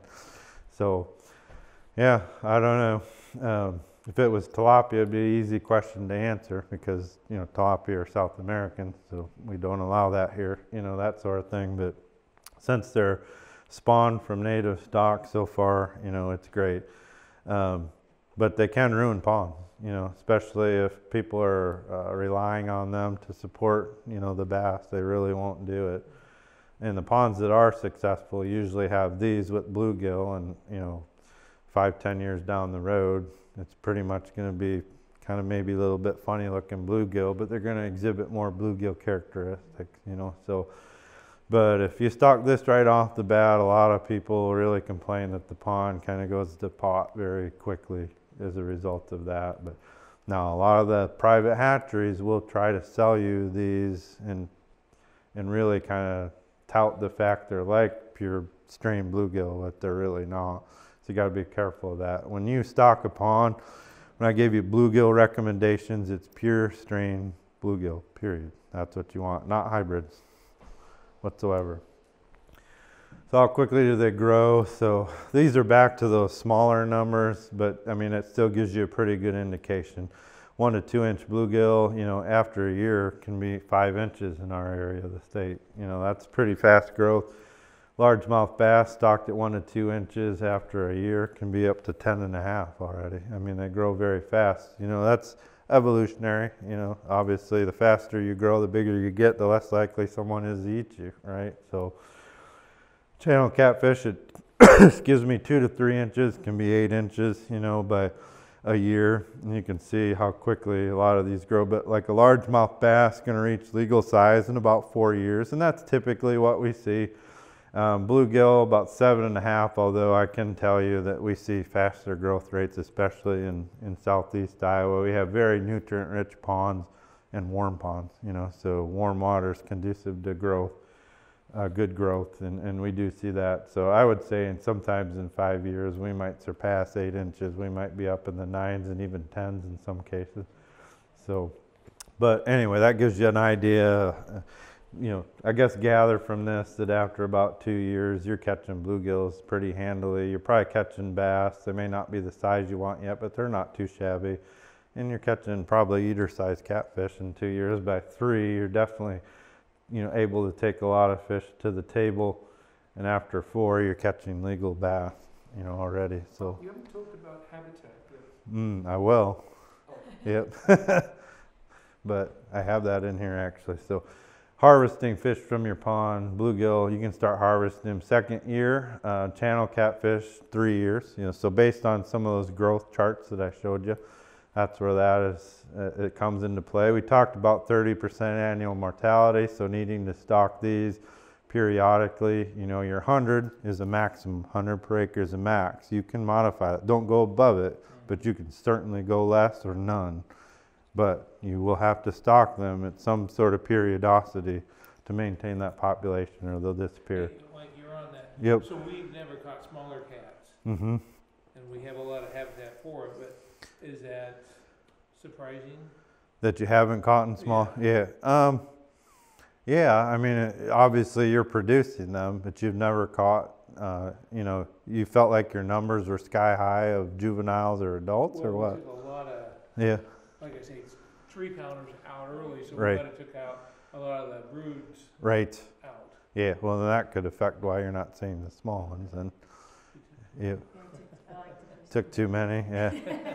Yeah, so of, of the species we talked about, you know, and again, this relates to the proportion or number of pounds, is, you know, given kind of the scenarios that I posed, what species would be most susceptible to being impacted by harvest?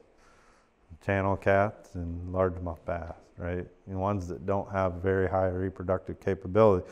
Thus, you know, we have limits on them, right? You know, at public lakes, 15 inches. Why? Because at 12 inches, they become reproductively capable. So we're giving them some time, you know, to be uh, essentially uh, reproducing, you know, before they're susceptible to being harvested.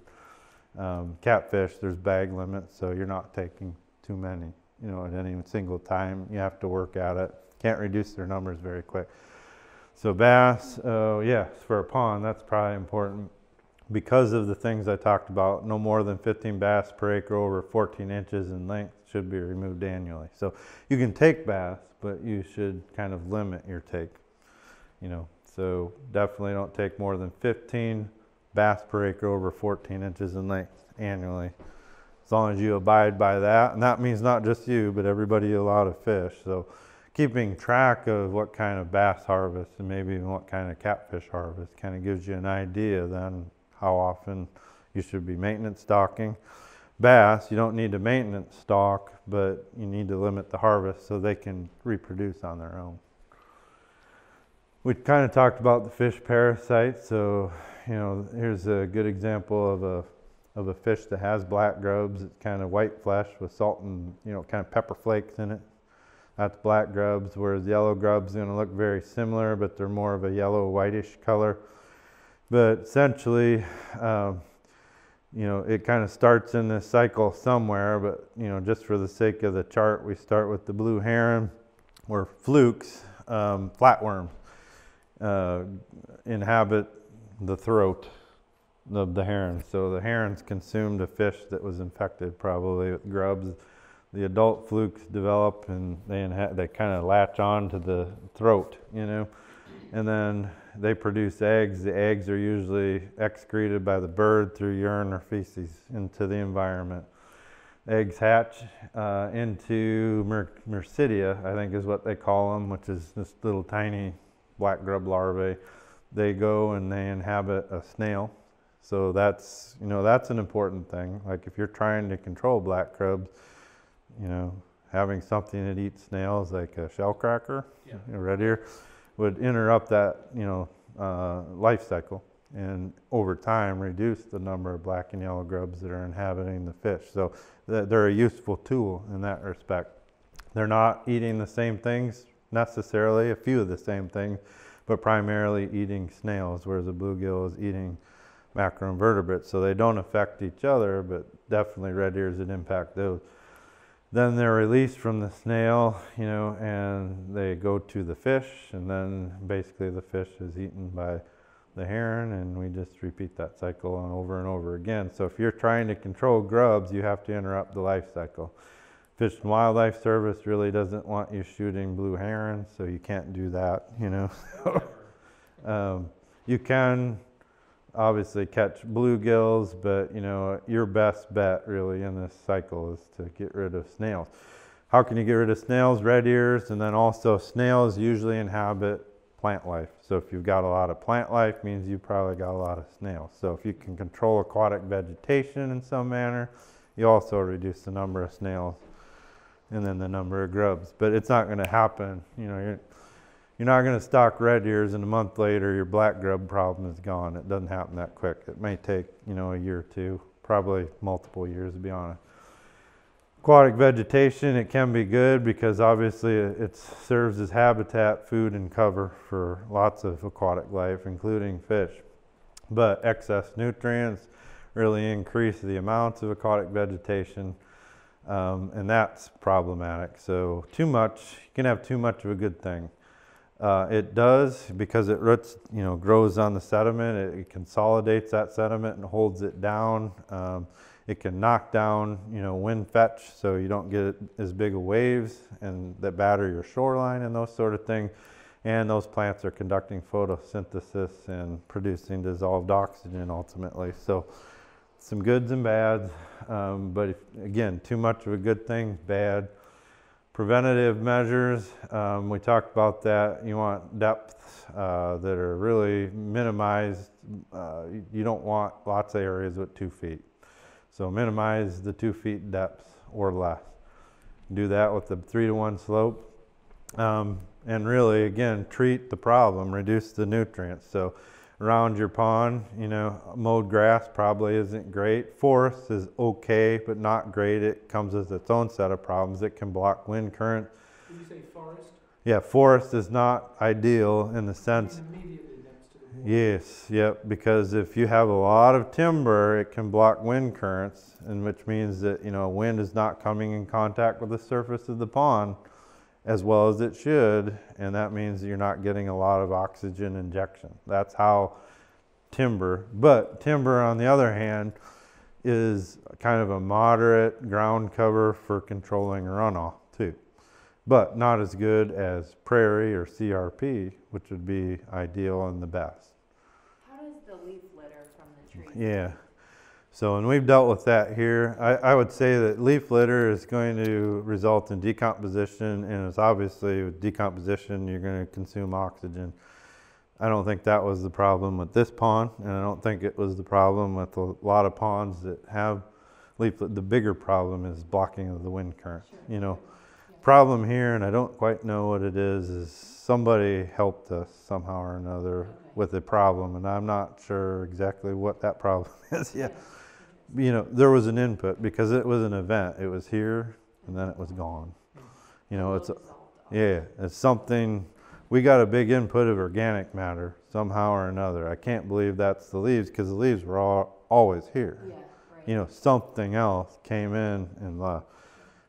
Um, you know, just deductively, it came from upstream somewhere. You know, we don't know how or where or what. It could be uh, faulty septic system.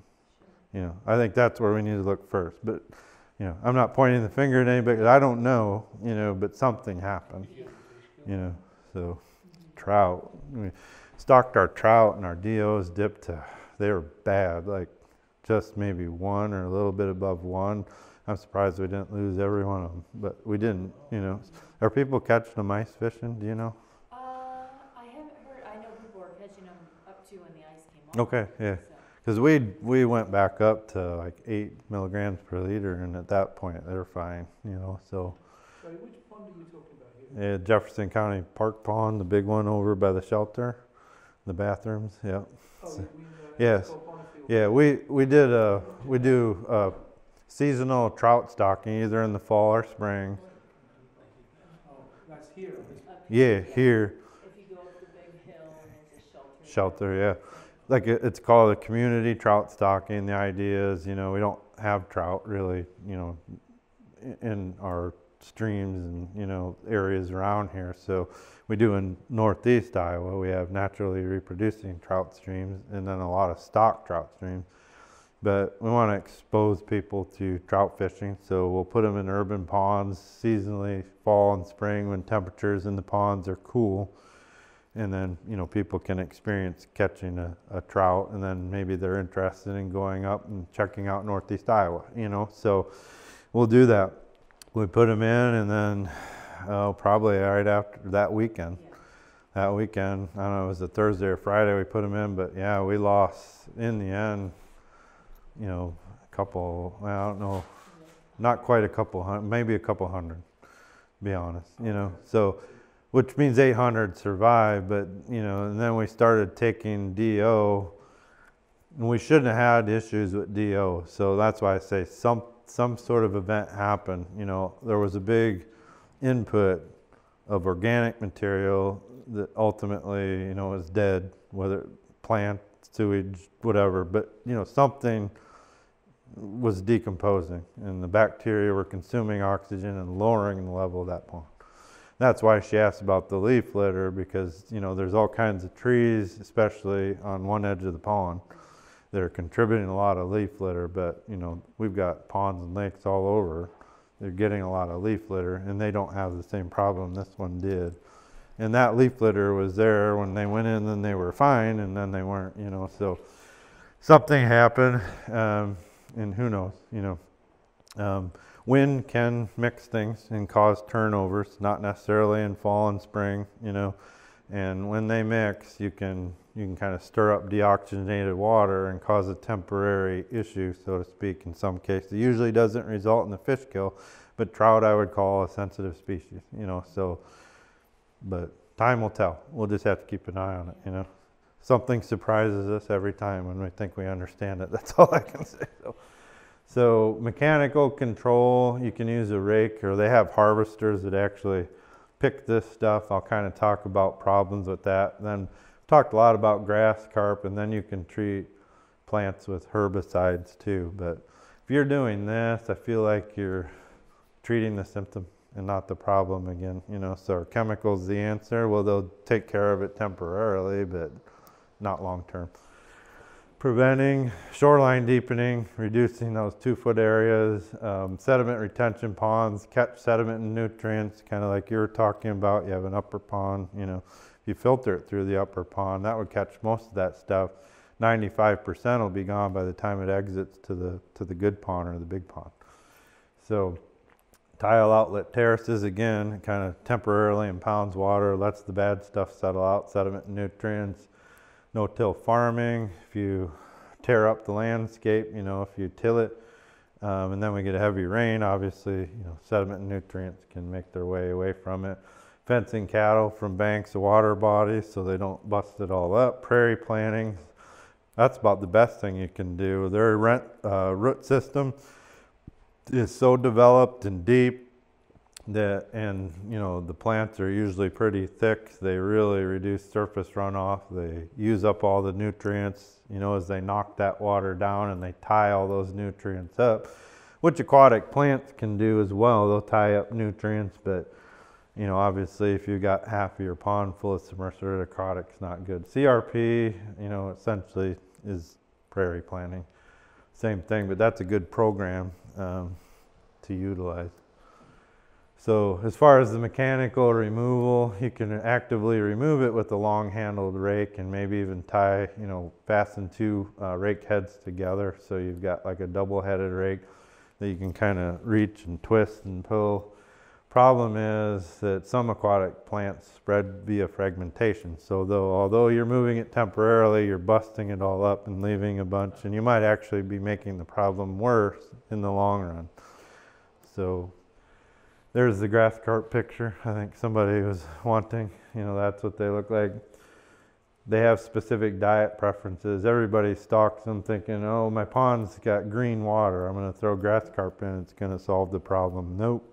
They're going to go find submerged aquatics, excrete nutrients back into the water column and make your algae problem potentially worse. So um, not always good. Now, if you stock them in the right number, so you know one for your three acre pond, give them about two years to kind of do their job. But you know, also probably wouldn't stock grass carp unless you had a vegetation problem. So, vegetation problem would be 20 to 25 percent submerged rooted aquatic coverage in your pond. shouldn't put any in. Right. Yeah. So yeah, don't stock them if you don't need them. Sold, sold me on it. Right. I said, How many do I need? Yep. He said seven. I Right. said, okay, I'll take eleven. 'Cause Yes. More is better. More is better, yeah, and that happens a lot, so don't feel bad. A lot of people make that mistake, but yeah, if you ever have questions like that, don't hesitate to call us. We'll tell you straight up what what you should do there. Did you say, do you have regular hours? yeah, eight to four thirty, uh, Monday through Friday. So that's sort of office hours, because I Yep. imagine you're out in the field. We are, you know, so especially as we get into spring, summer, fall, we'll be in and out more. But Uh, do you accept sure, yep, yeah, yep, we're And open. Are you at that office that's the first on the left? The red building on top of the hill as you come into Lake Darling State Park. So. Okay. Yeah, you can stop in and talk to us. We'll uh, we'll um, kind of chew the fat with you about anything ponds or anything you, you want to talk about. But so they can still be legally stocked. We don't stock them in any public ponds whatsoever anymore because we made the same mistake. 1970s, we didn't know about the negative effects of grass carp. So in some lakes, we stocked a thousand, you know, grass carp in a 50 acre pond or something. Not a good idea. So, you know, and we thought they lived five years and we found out they lived 30. But, but uh, one thing to make you feel better, maybe, after what, seven years, they get very lethargic? they Yes. just Don't eat that much? they don't eat that much. Yeah. So you might have some big pets, because they can get, Huge, yeah, and that's a good point. So when they're controlling your vegetation, it's usually you're getting them when they're 10 or 12 inches and they're eating a ton because they're putting that energy into growth. Now, once they've neared their growth potential, then they don't eat as much and they're not really benefiting you other than taking up space, you know. So, but grass carp are good to eat too. I mean, I don't know. The, number two in taste. Yeah, they're very good. Yeah. Yeah, and you you know they get big and cylindrical, and they can like a shark. You can cut grass carp steaks. You know, pretty good. They're actually really good. Asian carp are very good too. You know, you can. It's kind of interesting way to prepare those, but they got a pretty well developed rib cage, and so we've caught those and get up under that rib cage and just use a hatchet to kind of bust the rib cage out. You know, it's almost like you know, ribs, you get cattle ribs or pork ribs or something like that, you know. and then you know, they've got real thick developed ribs, so you can slice them into individuals and wrap them in tinfoil butter and garlic, cook them on the grill, and then just eat them right off the bone. They're pretty tasty. Yep, but so Asian carp are very tasty too, but you just a lot of people think ah gross. I'm not eating that, right? So Are they that much different than a regular common carp? I would say yes. I think they're way better. Like common carp, um, I've had a lot of those. Like I started my work on the Mississippi River, so there was a commercial fisherman that had his own fish stand, and you could go there, and he would have carp on the menu and buffalo and a bunch of other things that you typically wouldn't eat. But he'd only have carp in the fall and early winter because he felt like the flesh was denser and tastier then, and it feels like in the warmer months it gets kind of mushy and off flavored, you know. So, um, whereas he would have buffalo on the menu, like smallmouth, big mouth, black buffalo all the time, but that's very bony. But he had a scorer machine, and it, you know, basically score it the whole length of the fillet, drop it in oil, and the bones are so small that they would just cook off. They wouldn't be there anymore, and then serve it on top of, you know, bread, onions in a sandwich, and tartar sauce is pretty good. And you'd have paddle fish, which to me it was more of the consistency of like chicken nuggets, you know. I mean, good chicken nuggets, not McDonald's chicken nuggets, but real chicken. You know what I mean? And but it, I mean, it tastes like fish. There's the difference. Can mm-hmm. like the consistency, you know, of chicken, but tastes like fish. I thought it was really good. Catfish, so, but you know, all kinds of stuff like that. But yeah, common carp tastes different, and of the carps, uh, not my favorite. I mean, I, I liked them when you had them on the menu, but if I had to choose, I'd get the other two, you know. So, herbicides, copper sulfate, which is an algicide or algicide for controlling filamentous algae. That's primarily what you're seeing covering that pond. It's snotty, it's oily, stringy. They call it horsehair algae. You know, pick it up and it's like a horse tail, you know, but maybe slimier. Duckweed. No. Duckweed, the duckweed's more of this right here. You see these little plants? Yeah. Yeah, that's duckweed. Duckweed is actually, uh, it's, it's a floating rooted leaf plant. So if you pick up duckweed and flip it over, it actually has little rootlets on the bottom. The copper sulfate takes care of that too. doesn't it? N- No, not as well. You might get some control, but diquat or reward would be the best thing to control. Um, you know, any sort of, of duckweed would be diquat or reward is the trade name. You know, bluestone would be a trade name for copper sulfate, but copper sulfate is going to be mainly uh, an algicide. That's where its best control is. Now, it's not saying it won't kill some of the duckweed, but usually what you're seeing is situation where you're full of filamentous algae and you've got duckweed growing in it and then you apply copper sulfate and 99% of your biomass was filamentous algae. And then 99% of this goes away and you're left with a little duckweed. And you might think you got control but you really controlled the filamentous algae you know.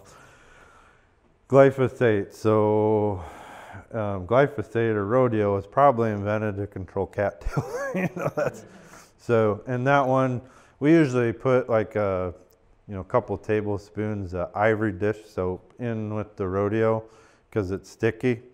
And when you spray the rodeo on like the cattails or even you know lilies um, lotus that sort of stuff it sticks to the leaf and then allows the chemical to penetrate and make its way down to the root. Whereas if you just spray on the chemical it might run off and never really come in contact with the root of the plant. So cattail, smartweed you know water lilies blah blah blah so But The diquat is probably the better of the three choices. in for terms coverage for everything For most things. Yes. Yep. Yep. Yeah. And one thing I should mention. So we've all heard of Roundup, right? Should you use Roundup to control aquatic plants of any sort or emergent plants of any sort? Nope. Nope. There is that Roundup aquatic, or it's similar to Yeah. it, isn't there? Yep. Oh, okay. Rodeo. Yep. And there are other trade names. I think there's Aquastar and blah blah blah. But basically, it's a glyphosate product, which Roundup is a glyphosate. But the difference is The carrier for Roundup is extremely toxic. But that carrier has been removed for rodeo, and that's why then we have to add dish soap, hmm. you know, to make it stick to stuff. But rodeo will do the same thing. It's just aquatic safe Roundup, but that doesn't mean you should use Roundup because you will kill fish big time. How much, uh, a ratio would you wanna add that dish soap? dish soap usually uh, you know about a one to three uh, teaspoons per about 10 gallons i would say Oh, wow, so yeah yeah and, and you might start out with one and just because you're going to set up a little bit and stuff and obviously you don't want to wash the machine overflowing sort of thing you know what i mean? So just a little squirt you know just something to make it stick and if you're comfortable with how that mixture is looking you might be able to add just a little bit more you know but not a lot you know but just just enough to make it sticky and you know it, if it suds up that's perfectly kind of normal that's what's going to Would you happen. Ever do that around the beach area or not? Um, yeah, you could. I mean, that soap and stuff is not not going to hurt. You know, all these too. I should mention, they have potentially have restrictions. Um, if you call me or you go to your local extension office, they can give you a document. You can even download it honestly through the Iowa Extension website. You know, you'd probably be able to find that. It's Category Five aquatic pesticide application have a nice little chart that tells you if the chemical you're using, like Diquat, has any restrictions and what they are. And it might, that restriction might be for cattle or sheep, or you know, if you're applying copper sulfate, you better not have any sheep drinking the water because that would be toxic to them. You know, so swimming restrictions in in your Could case. that affect deer even? Um, Or yeah, I mean, if it would affect cattle, I guess it would probably affect deer, you know, but I mean. How are you gonna control them, you know, so, they're gonna drink whether, would it kill them? I don't know, you know, but if you're a livestock provider, obviously, it'd probably be a bigger issue for you, you know. Do any of these have any impact on fish? These do not, if applied according to label instructions. So, you know, if it says apply, one gallon per acre award, which is a common application rate, and you apply five, yeah, you're going to cost some, you know. So, the bigger issue with with these here is coverage. So, if I were going to treat this pond, which I'd call 99% covered, and I applied copper sulfate in August. I probably killed every fish in the pond. Was it the result of this? No, it was the result of this killing the aquatic vegetation, which now has to be decomposed by the bacteria that consume all the oxygen. You know, so it wasn't a direct result of the herbicide affecting the fish, but the secondary result of killing that stuff. Now there are some chemicals like I get a lot of calls about Karmex. Karmex does a wonderful job controlling all the vegetation in my pond. Usually I say, don't tell me anymore because that's against federal law, you know, to apply it. But yes, it works really well because Karmex will basically shut down any primary productivity in the pond, period. So in, in essence, it sterilizes the pond, removes all aquatic vegetation. Plus, then it hangs around for like 50 years in the bottom of your pond too. It has a really long half-life, mm-hmm. you know. So and that's I think that's why they discovered that one's no no and they made it illegal. But you know, a lot of people still remember it from the good old days. They don't know it's illegal and they apply it, and yeah, it works. But I think with something like that, you're you're causing more damage and really sac- you're sacrificing your health long term too. You know, to apply something like that. So um, I don't think it's worth it. Number one, I don't want to go to prison over some chemical I applied to my pond. That just seems silly. But you know, number two, you're just going to sterilize your pond, and I doubt that's what you're after in the first place, right? So. So fish kill, summer kill. Um, so you get into usually happens in late July and August. You have excessive vegetation. Um, you have some event that kills a whole bunch. So you know maybe you have a cold rain kills a whole bunch of vegetation. You know the water is warm. It's not holding a lot of oxygen. Now you put a stressor on it with that decomposition. It lowers it even more. Usually happens right before sunrise because you know in the dark there's no photosynthesis, things are still decomposing, things are still breathing. You know, water isn't holding a lot of oxygen, so if we dip even a little bit, it might, you know, reduce it to critical levels, that oxygen level. And if the oxygen level reduces to critical levels, things can die. Fish kills are usually partial. Uh, typically, they're not full kills. You know, people call I had a bad fish kill. How bad? I lost 23 fish. That's not bad. That's nothing. You know. Um, some others will call and say I lost a couple hundred. How big is your pond? Five acres. Don't worry about it. You know. If you have a complete fish kill, even on a three-quarter acre pond, depending on what time of year that it happens, but you know, say again we're into July and August, I'd probably be looking at thousands, if not tens of thousands of fish. Then you got a problem. You know, that would be pretty severe. I've only ever seen one dead yeah, so and that's probably natural mortality. You know, so we get a lot of that too. right at the beginning, Yep. you know, when I first put. Sure. Yeah. Yeah. So we'll get a lot of questions like that. I've seen. I didn't see any fish, but I see five now. Well, that could be just simply stress kill. So fish are going to spawn. Um, you know, like bluegills that guard nests, so they're actively fanning those. They're chasing everybody off. That's you're expending a lot of energy. It wears you out. You get tired. You get a cold rain. All of a sudden, you know, bluegill going to stay on that nest even though the conditions aren't great. You know, my job is to make sure that my young survive. They're going to stay there come, you know, heck or high water and temperature is not conducive. It stresses them out and they die, you know.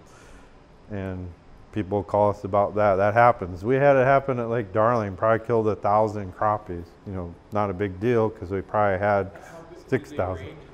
Yeah, they were all spawners, you know, about that size. So that's not a big deal because you know the population might be 5,000 crappies, but they just produced a giant year class, you know, and so like they replaced themselves maybe two times over, you know. But it happened. Um, winter kill different, so you get snow and ice on top.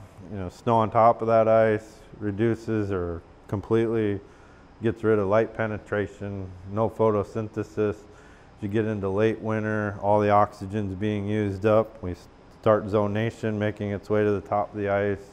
Have a late winter, it doesn't melt, and fish die under the ice. That's winter kill. That can happen as well. And these things can happen in an area of a pond.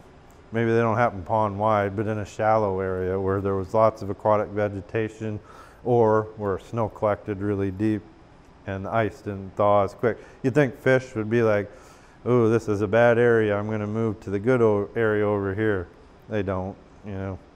Uh, Some of them are pretty dumb. They just stay there and they die, you know. But that's just what happens, you know. Survival of the fittest, right? So, um, chemicals and excess nutrients. So yeah, Roundup you apply near your pond, thinking you're doing something good, and you end up killing fish. Usually, you'll see fish sporadically swimming in circles, real weird behavior. That's usually chemical. If they're piping, almost seems like they're wanting to breathe air from the atmosphere. It's usually a DO thing. They don't have any oxygen in the water, so they're trying to get as much as they can from the air, which the trout here were doing. Heads and tails were exposed. They were trying to get out of the water as much as they could with still being in it to try to get air. And it worked because most of them made it through, but surprising. So fish habitat, they're found in close proximity to structure. We know that just by observations, bluegills near vegetation, bass near wood. So this kind of gets at your question, habitat. You can do things like stake beds. So this is an old pallet. It's got uh, oak stakes nailed to it, and it's basically weighted down by cinder blocks. I mean, that simulates something like a tree that you've weighted down and provides the same sort of habitat, you know. Um, if you had cedar trees or something, I'd probably do something more like this just because to me it's more of a natural sort of thing. This is a natural material, but it's obviously artificially built. It will work just as well in a lot of cases, but you know, fish are probably more evolutionarily uh, inclined to use something that they've always seen like that. That's probably just a fact. trees, so similar to what you just saw before, but hinge trees off the shoreline, you know, root balls, stumps, etc. All that's good. You have to weight it down essentially because even though the tree is heavy and doesn't seem to be going anywhere, once you put it in the water, it will float you know, for a while until it gets saturated, then it will sink. But if you weight it down and keep it in place, it'll get saturated and stay where you put it. You can put this stuff on top of the ice when it's froze over, and then when the ice goes out, it'll sink. But it has to still be weighted, you know, to sink to the bottom or it'll just move around and you want to put this stuff, you know, look at these pictures, shoreline, right? Near shore. Don't put it in the deepest part of the pond. Why? Because of zonation. So come summertime, you had big tree pile and 20 feet of water. Will the fish be there? Probably not because they can't breathe, you know. So put most of your material, you know, in shallower water. I would say eight feet, eight to 12 feet or less and keep about three or four feet of water over top. That's so you don't dive on top of it if perhaps you're swimming in that area. You know, a kid jumps out of a boat and you know dives right on top of a brush pile. That's not what you want. But if you have it four feet under the water, they're going to be fine. Rocks work really well too. Um, rock piles, shelter belts. That would be when you flatten that stuff out you know, so basically, you know, have lots of little interstitial spaces that, you know, fish can get into or their prey. It's important for their prey too. Fish will come to it if there's something to eat. Smaller rock, you can vary sizes, build spawning beds. Trenches can be built, you know, change in profile often is conducive to fish. And that's all I got. So, more questions? Didn't mention car tires. No. Good reason, because those are bad. I called DNR before I put mine in they said it's fine. Ooh, I don't know. You didn't talk to me then. I didn't talk to you. Yep. I, I definitely wanted to check. Yep. Who did you talk to about that? I, And when would be the well, okay, about 15 months ago. 15 months ago? Yeah, that surprises me. I think I talked to somebody in Des Moines. Des Moines. Yep. They said, yep, just fine. No. No, no. It's not it's not the end of the world. It's not like by doing that it's going to kill the whole pond or anything. But what we found is again, this was something the DNR learned in the 70s. We thought, you know, 60s, 70s, that would be a great way to utilize old tires. Is recycle them. You know, that's a big thing in marine environments. You know, let's use tires and create reefs and we're like, well, yeah, let's do that in a freshwater environment too. But what we found is that you know they they tend to break down. You know, old tires too. Just if you leave them out for a while and you kind of run your hand across them, you turn black all the way up. So that's that breakdown is happening. Um, the bigger thing in freshwater environments, they're not really uh, developing plankton. You know, like algae growth algal growth on a periphyton. That's the word I'm looking for. So that'd be algae that grows on the surfaces. You know, so basically they just always remain black tires that are breaking down and that's it. So they're providing profile and structure, but unlike like rock, like I showed earlier, that has all the interstitial spaces and is harboring all those aquatic invertebrates and other forms of aquatic life that fish feed on, tires really aren't doing that. You know, so the only benefit you're really getting is the the profile and structure, but we've also noticed that whenever fish have the choice of wood, rock, or tires, they go to wood or rock and they don't utilize the tires. You know, so that was telling. And so now, and I think we draw a lake down to do a renovation and we've got a lot of them. They're just full of tires everywhere. At Lost Grove Lake that I built up in the Quad Cities, we had a habitat collection site that was started by the previous biologist, but his vision was, you know, I'll take old pallets and cinder blocks and rocks and etc. Well, people started dumping tires because we had used tires in the past, even though he said we don't want tires anymore. And I ended up moving 3,500 off the property in order to you know, get that lake built. I mean, so it created a problem for us, and it's easy for people. And that's the other thing is that wasn't the first situation. you know, where we'd use that. And there's always tires, right? Everybody has tires that drives a car, and eventually they're bad, and they got to get rid of them. Well, it became our problem, and luckily, Scott County Waste Commission took them all at the landfill for free, no charge to us. But that's not always the case. That was a heck of a deal, you know. Usually it's four bucks per tire or something like that, you know, and that would have just been a nightmare. A little update, you may, may or may not know, a Yeah. Jeremy who owns Iowa Tire in Yeah. Fairfield. Yep. It's the biggest ag tire, he's the biggest ag tire dealer in Iowa. Mm-hmm. Oh, okay. And he's just spent a hundred or two hundred thousand dollars on a machine that eats. Eats the tire, yeah. Because he was paying like thirty-five thousand dollars a year. Get oh. Yes. I believe it. So I don't know whether you can Yep. talk to him. And utilizing those probably for playground substrate or something, right? It's got Yep. a, it's got a financial value that Yes. Yes, yep, yep. Yeah, and that's where I've seen the use better is like playground substrate around equipment and stuff like that. That works pretty well.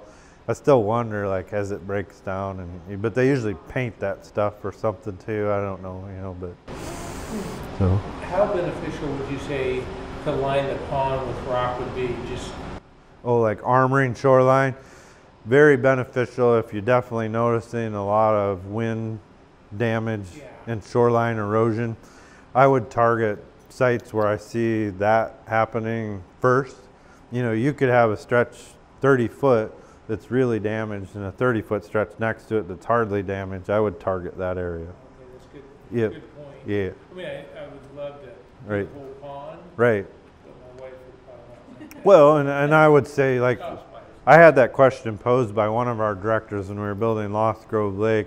You know, we were talking about we're we're targeting all these points and we're going to have 14,000 feet of armored shoreline. And his question was, well, why don't we just armor the whole thing and then we'll never have a problem? He's right. He was right. We wouldn't with shoreline erosion, but we we would be reducing the diversity of habitat and it'd all be rock. You know what I'm saying? Whereas if you had some rock and some natural vegetation and, you know, just variability like that. I think is better. You know, makes good sense. In some instances, it may be, may make sense to armor the whole thing. If it's a small pond, you can do it and the whole thing's getting damaged by wind, well, why not, you know, but, so, Going back to copper sulfate, yep, one of the things I've heard is it'll settle down into the, yes, into the bottom Bottom. and it won't go away either. right. Um, Whether that's detrimental, I don't know. Right, right. Um, I'm not so much worried about that one doing that. There's a lot worse things that would definitely settle out and get trapped in the sediment. Copper sulfate, I should mention, there's two ways it can be applied, and that would be liquid or crystals. You know, a lot of people will buy the crystals and make this mistake. You know, got a five gallon bucket and broadcast it. All that sinks to the bottom. The bigger issue is that copper sulfate is a contact killer. You know, so if my vegetation, my algae was in this back corner of the pond and I went out here and applied all my copper sulfate, it never comes in contact with that and therefore it doesn't die, you know.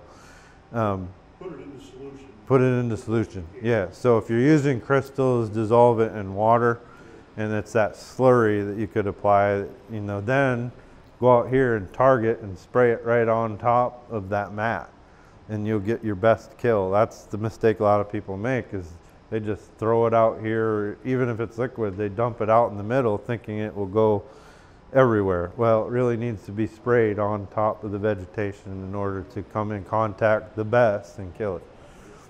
So I think that's the bigger issue than it collecting in the sediment. I think you're okay. Copper sulfate, quite honestly, you probably drink it every day because they use it to control algae in your tap water, you know, along with many other things like chlorine and whatever, you know. So they feed it to hogs. What?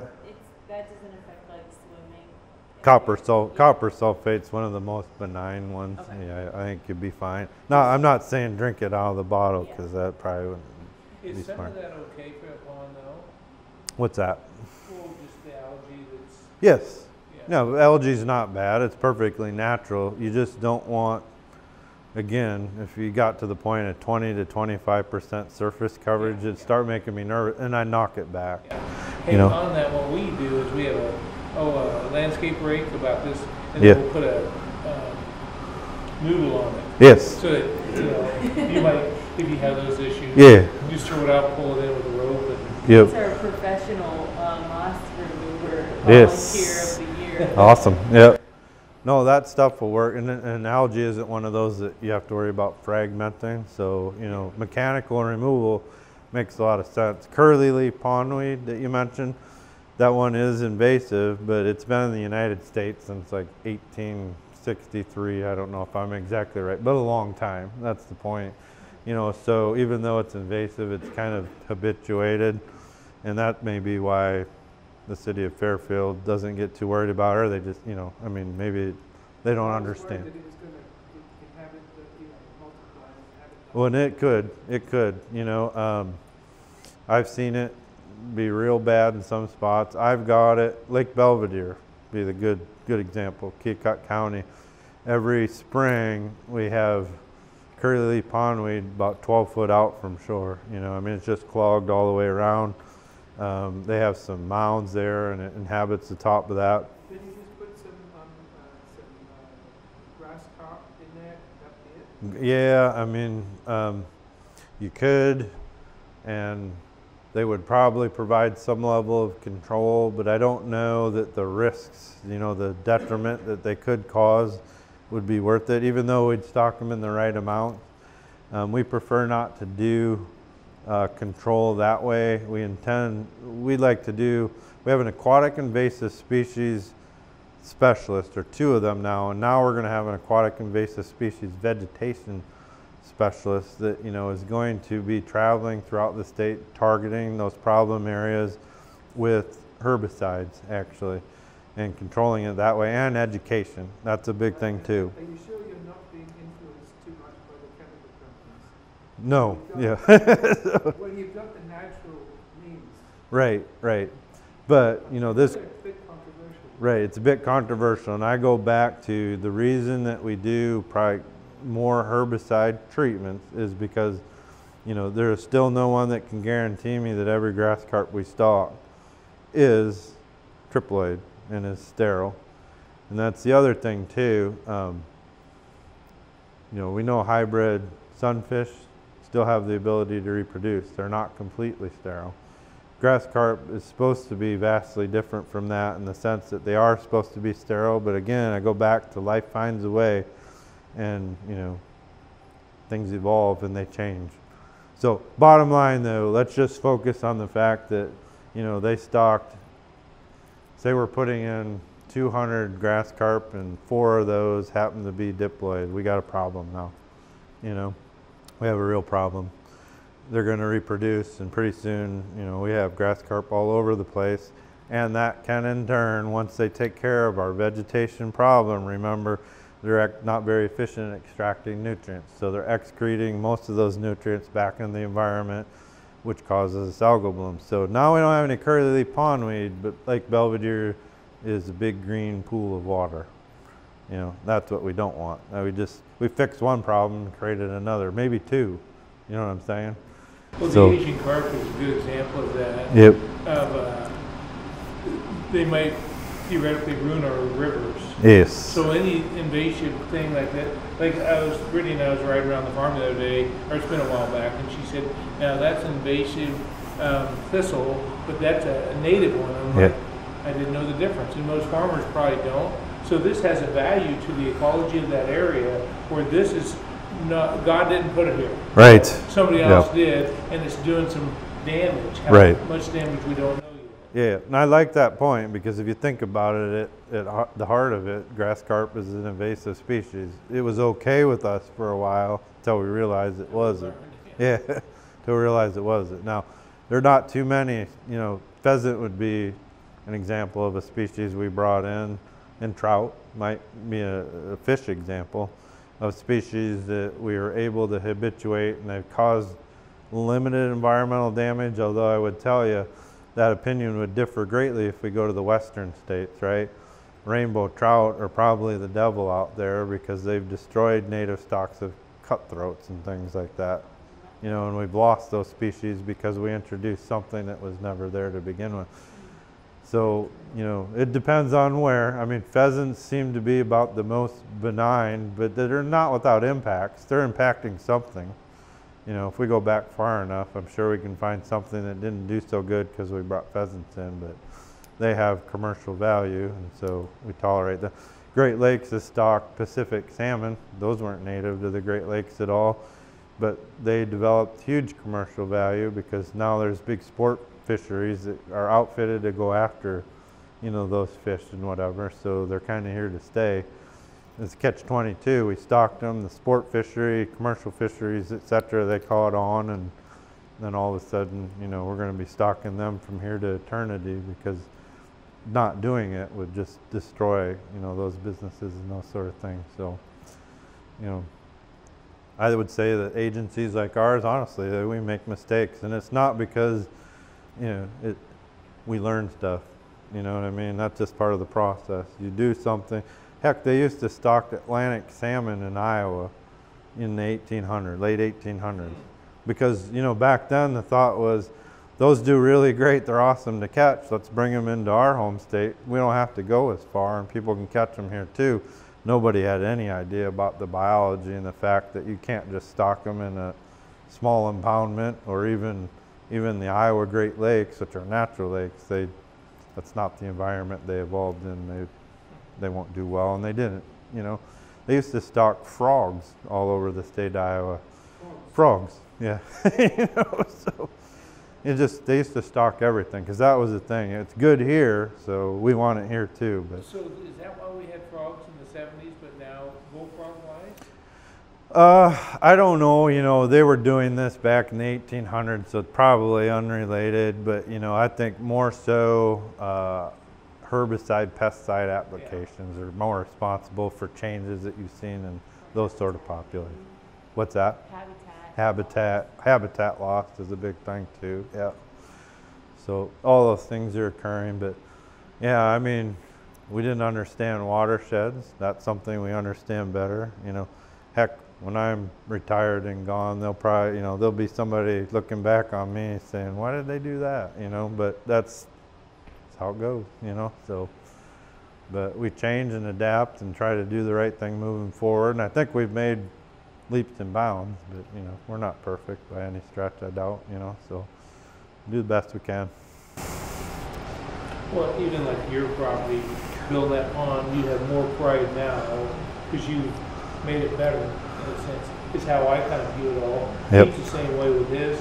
He's taken a piece of ground and made it better and fell in love with it, and you care about that pond and and your 13 fish. Yeah, right. They can be pets. yes, I bet you they end up not surviving because there's just not enough food. there. right, That, well, that's, that worries me, yeah. yeah. Well, but They're that's, Seven dollars each, too. yep, yeah. right. And the terms of the grass carp, if they don't, that might be a benefit to you long term, you know, so. I said if the grass carp don't survive, maybe that benefits you, you know, in terms of the pond more so in the future, you know, so. Well, what, was- what preceded it was a pond about one third the size.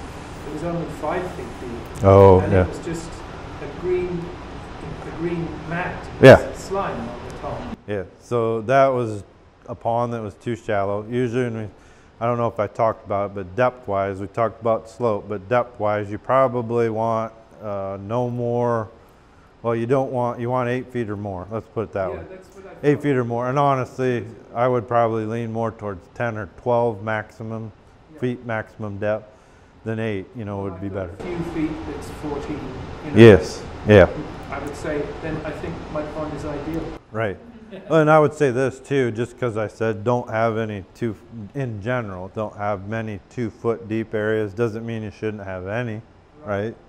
But you're just trying to minimize those areas. Yep. little notch in the end of Yes, pond little cove that's That was shallow. just- well, it's only Yep, about, you know, twice this way. sounds good. Yep. Because if you think about it, uh, like bluegills would be a good example, of spawning 18 inches to three feet of water, right? So, I, um, I, I had some old chicken wire Yep. that, that have got, I, I had to pull it out of the grass, so it got stretched into a kind of, like this, instead of being flat, it's like this. So I decided to pin about 40 feet of it in about a foot of water. Okay. And the little baby fish, this long, are really attracted to that, and they seem to stick around. Oh, hanging around that? My, my only worry would be is when they get a little bit bigger, it's going to act like a gill net and they're going to get stuck in it, I guess. So, depending on how big the holes are. not to go, Yeah. yep. stay in. Yep. So I could see small fish hanging around it. It's just, Yeah, no, the- the one- the fish that are, Right. this big, it seems but yeah, just don't want the juvenile fish hopefully not getting caught in it would be thing. So I don't know, you know. So, yep. But no, wood and rock are always the best. Cedar trees are great. They last quite a long time. If you can bundle, Sunk a couple of those. yeah, cedar trees are great. Uh, old road culverts work. Oh, is there a source of cedar trees, you know? A source. Somebody's clearing an area? I would say talk to local farmers. They don't want them in their fields, you know, so or pastures. They would want They- them gone. Yes.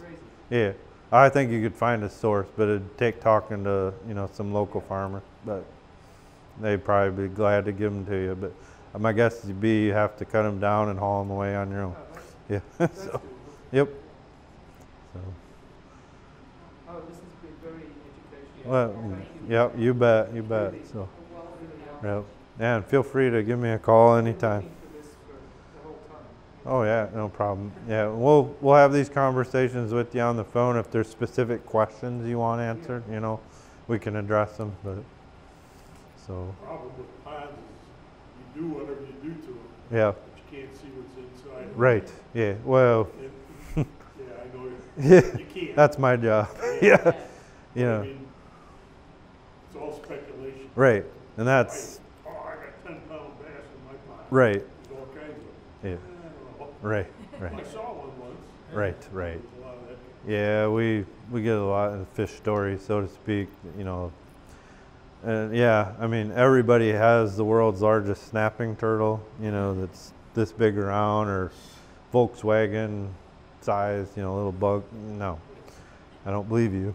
You know, I've been sampling them for years. I've never caught one. That. Uh, My son and I went fishing in August, and we pulled crankbaits deep, because we've been fishing uh, Mississippi. Yeah. And he caught a nine and a half pound bass. Nice. So it would have been one of the original, back to the, uh, well, the, one of the original fish put in there, but Yep. to your point on starting with all kindergartners, they all grew up together. By the time they're 12th graders, that's Yeah. when they're the stud. Yeah. That you want to, that 10 pound bass Right.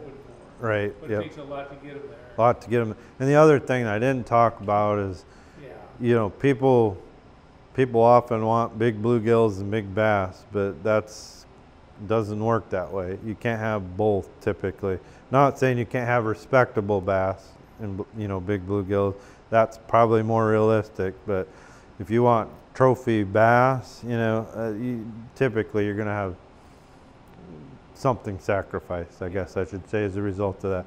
You know, typically intermediate sized bass are the ones that are feeding heavily on bluegills. So if you've got a pond that's dominated mainly by intermediate sized bass, you're probably going to have big bluegills because they're going to trim down those populations and allow those bluegills to grow very rapidly.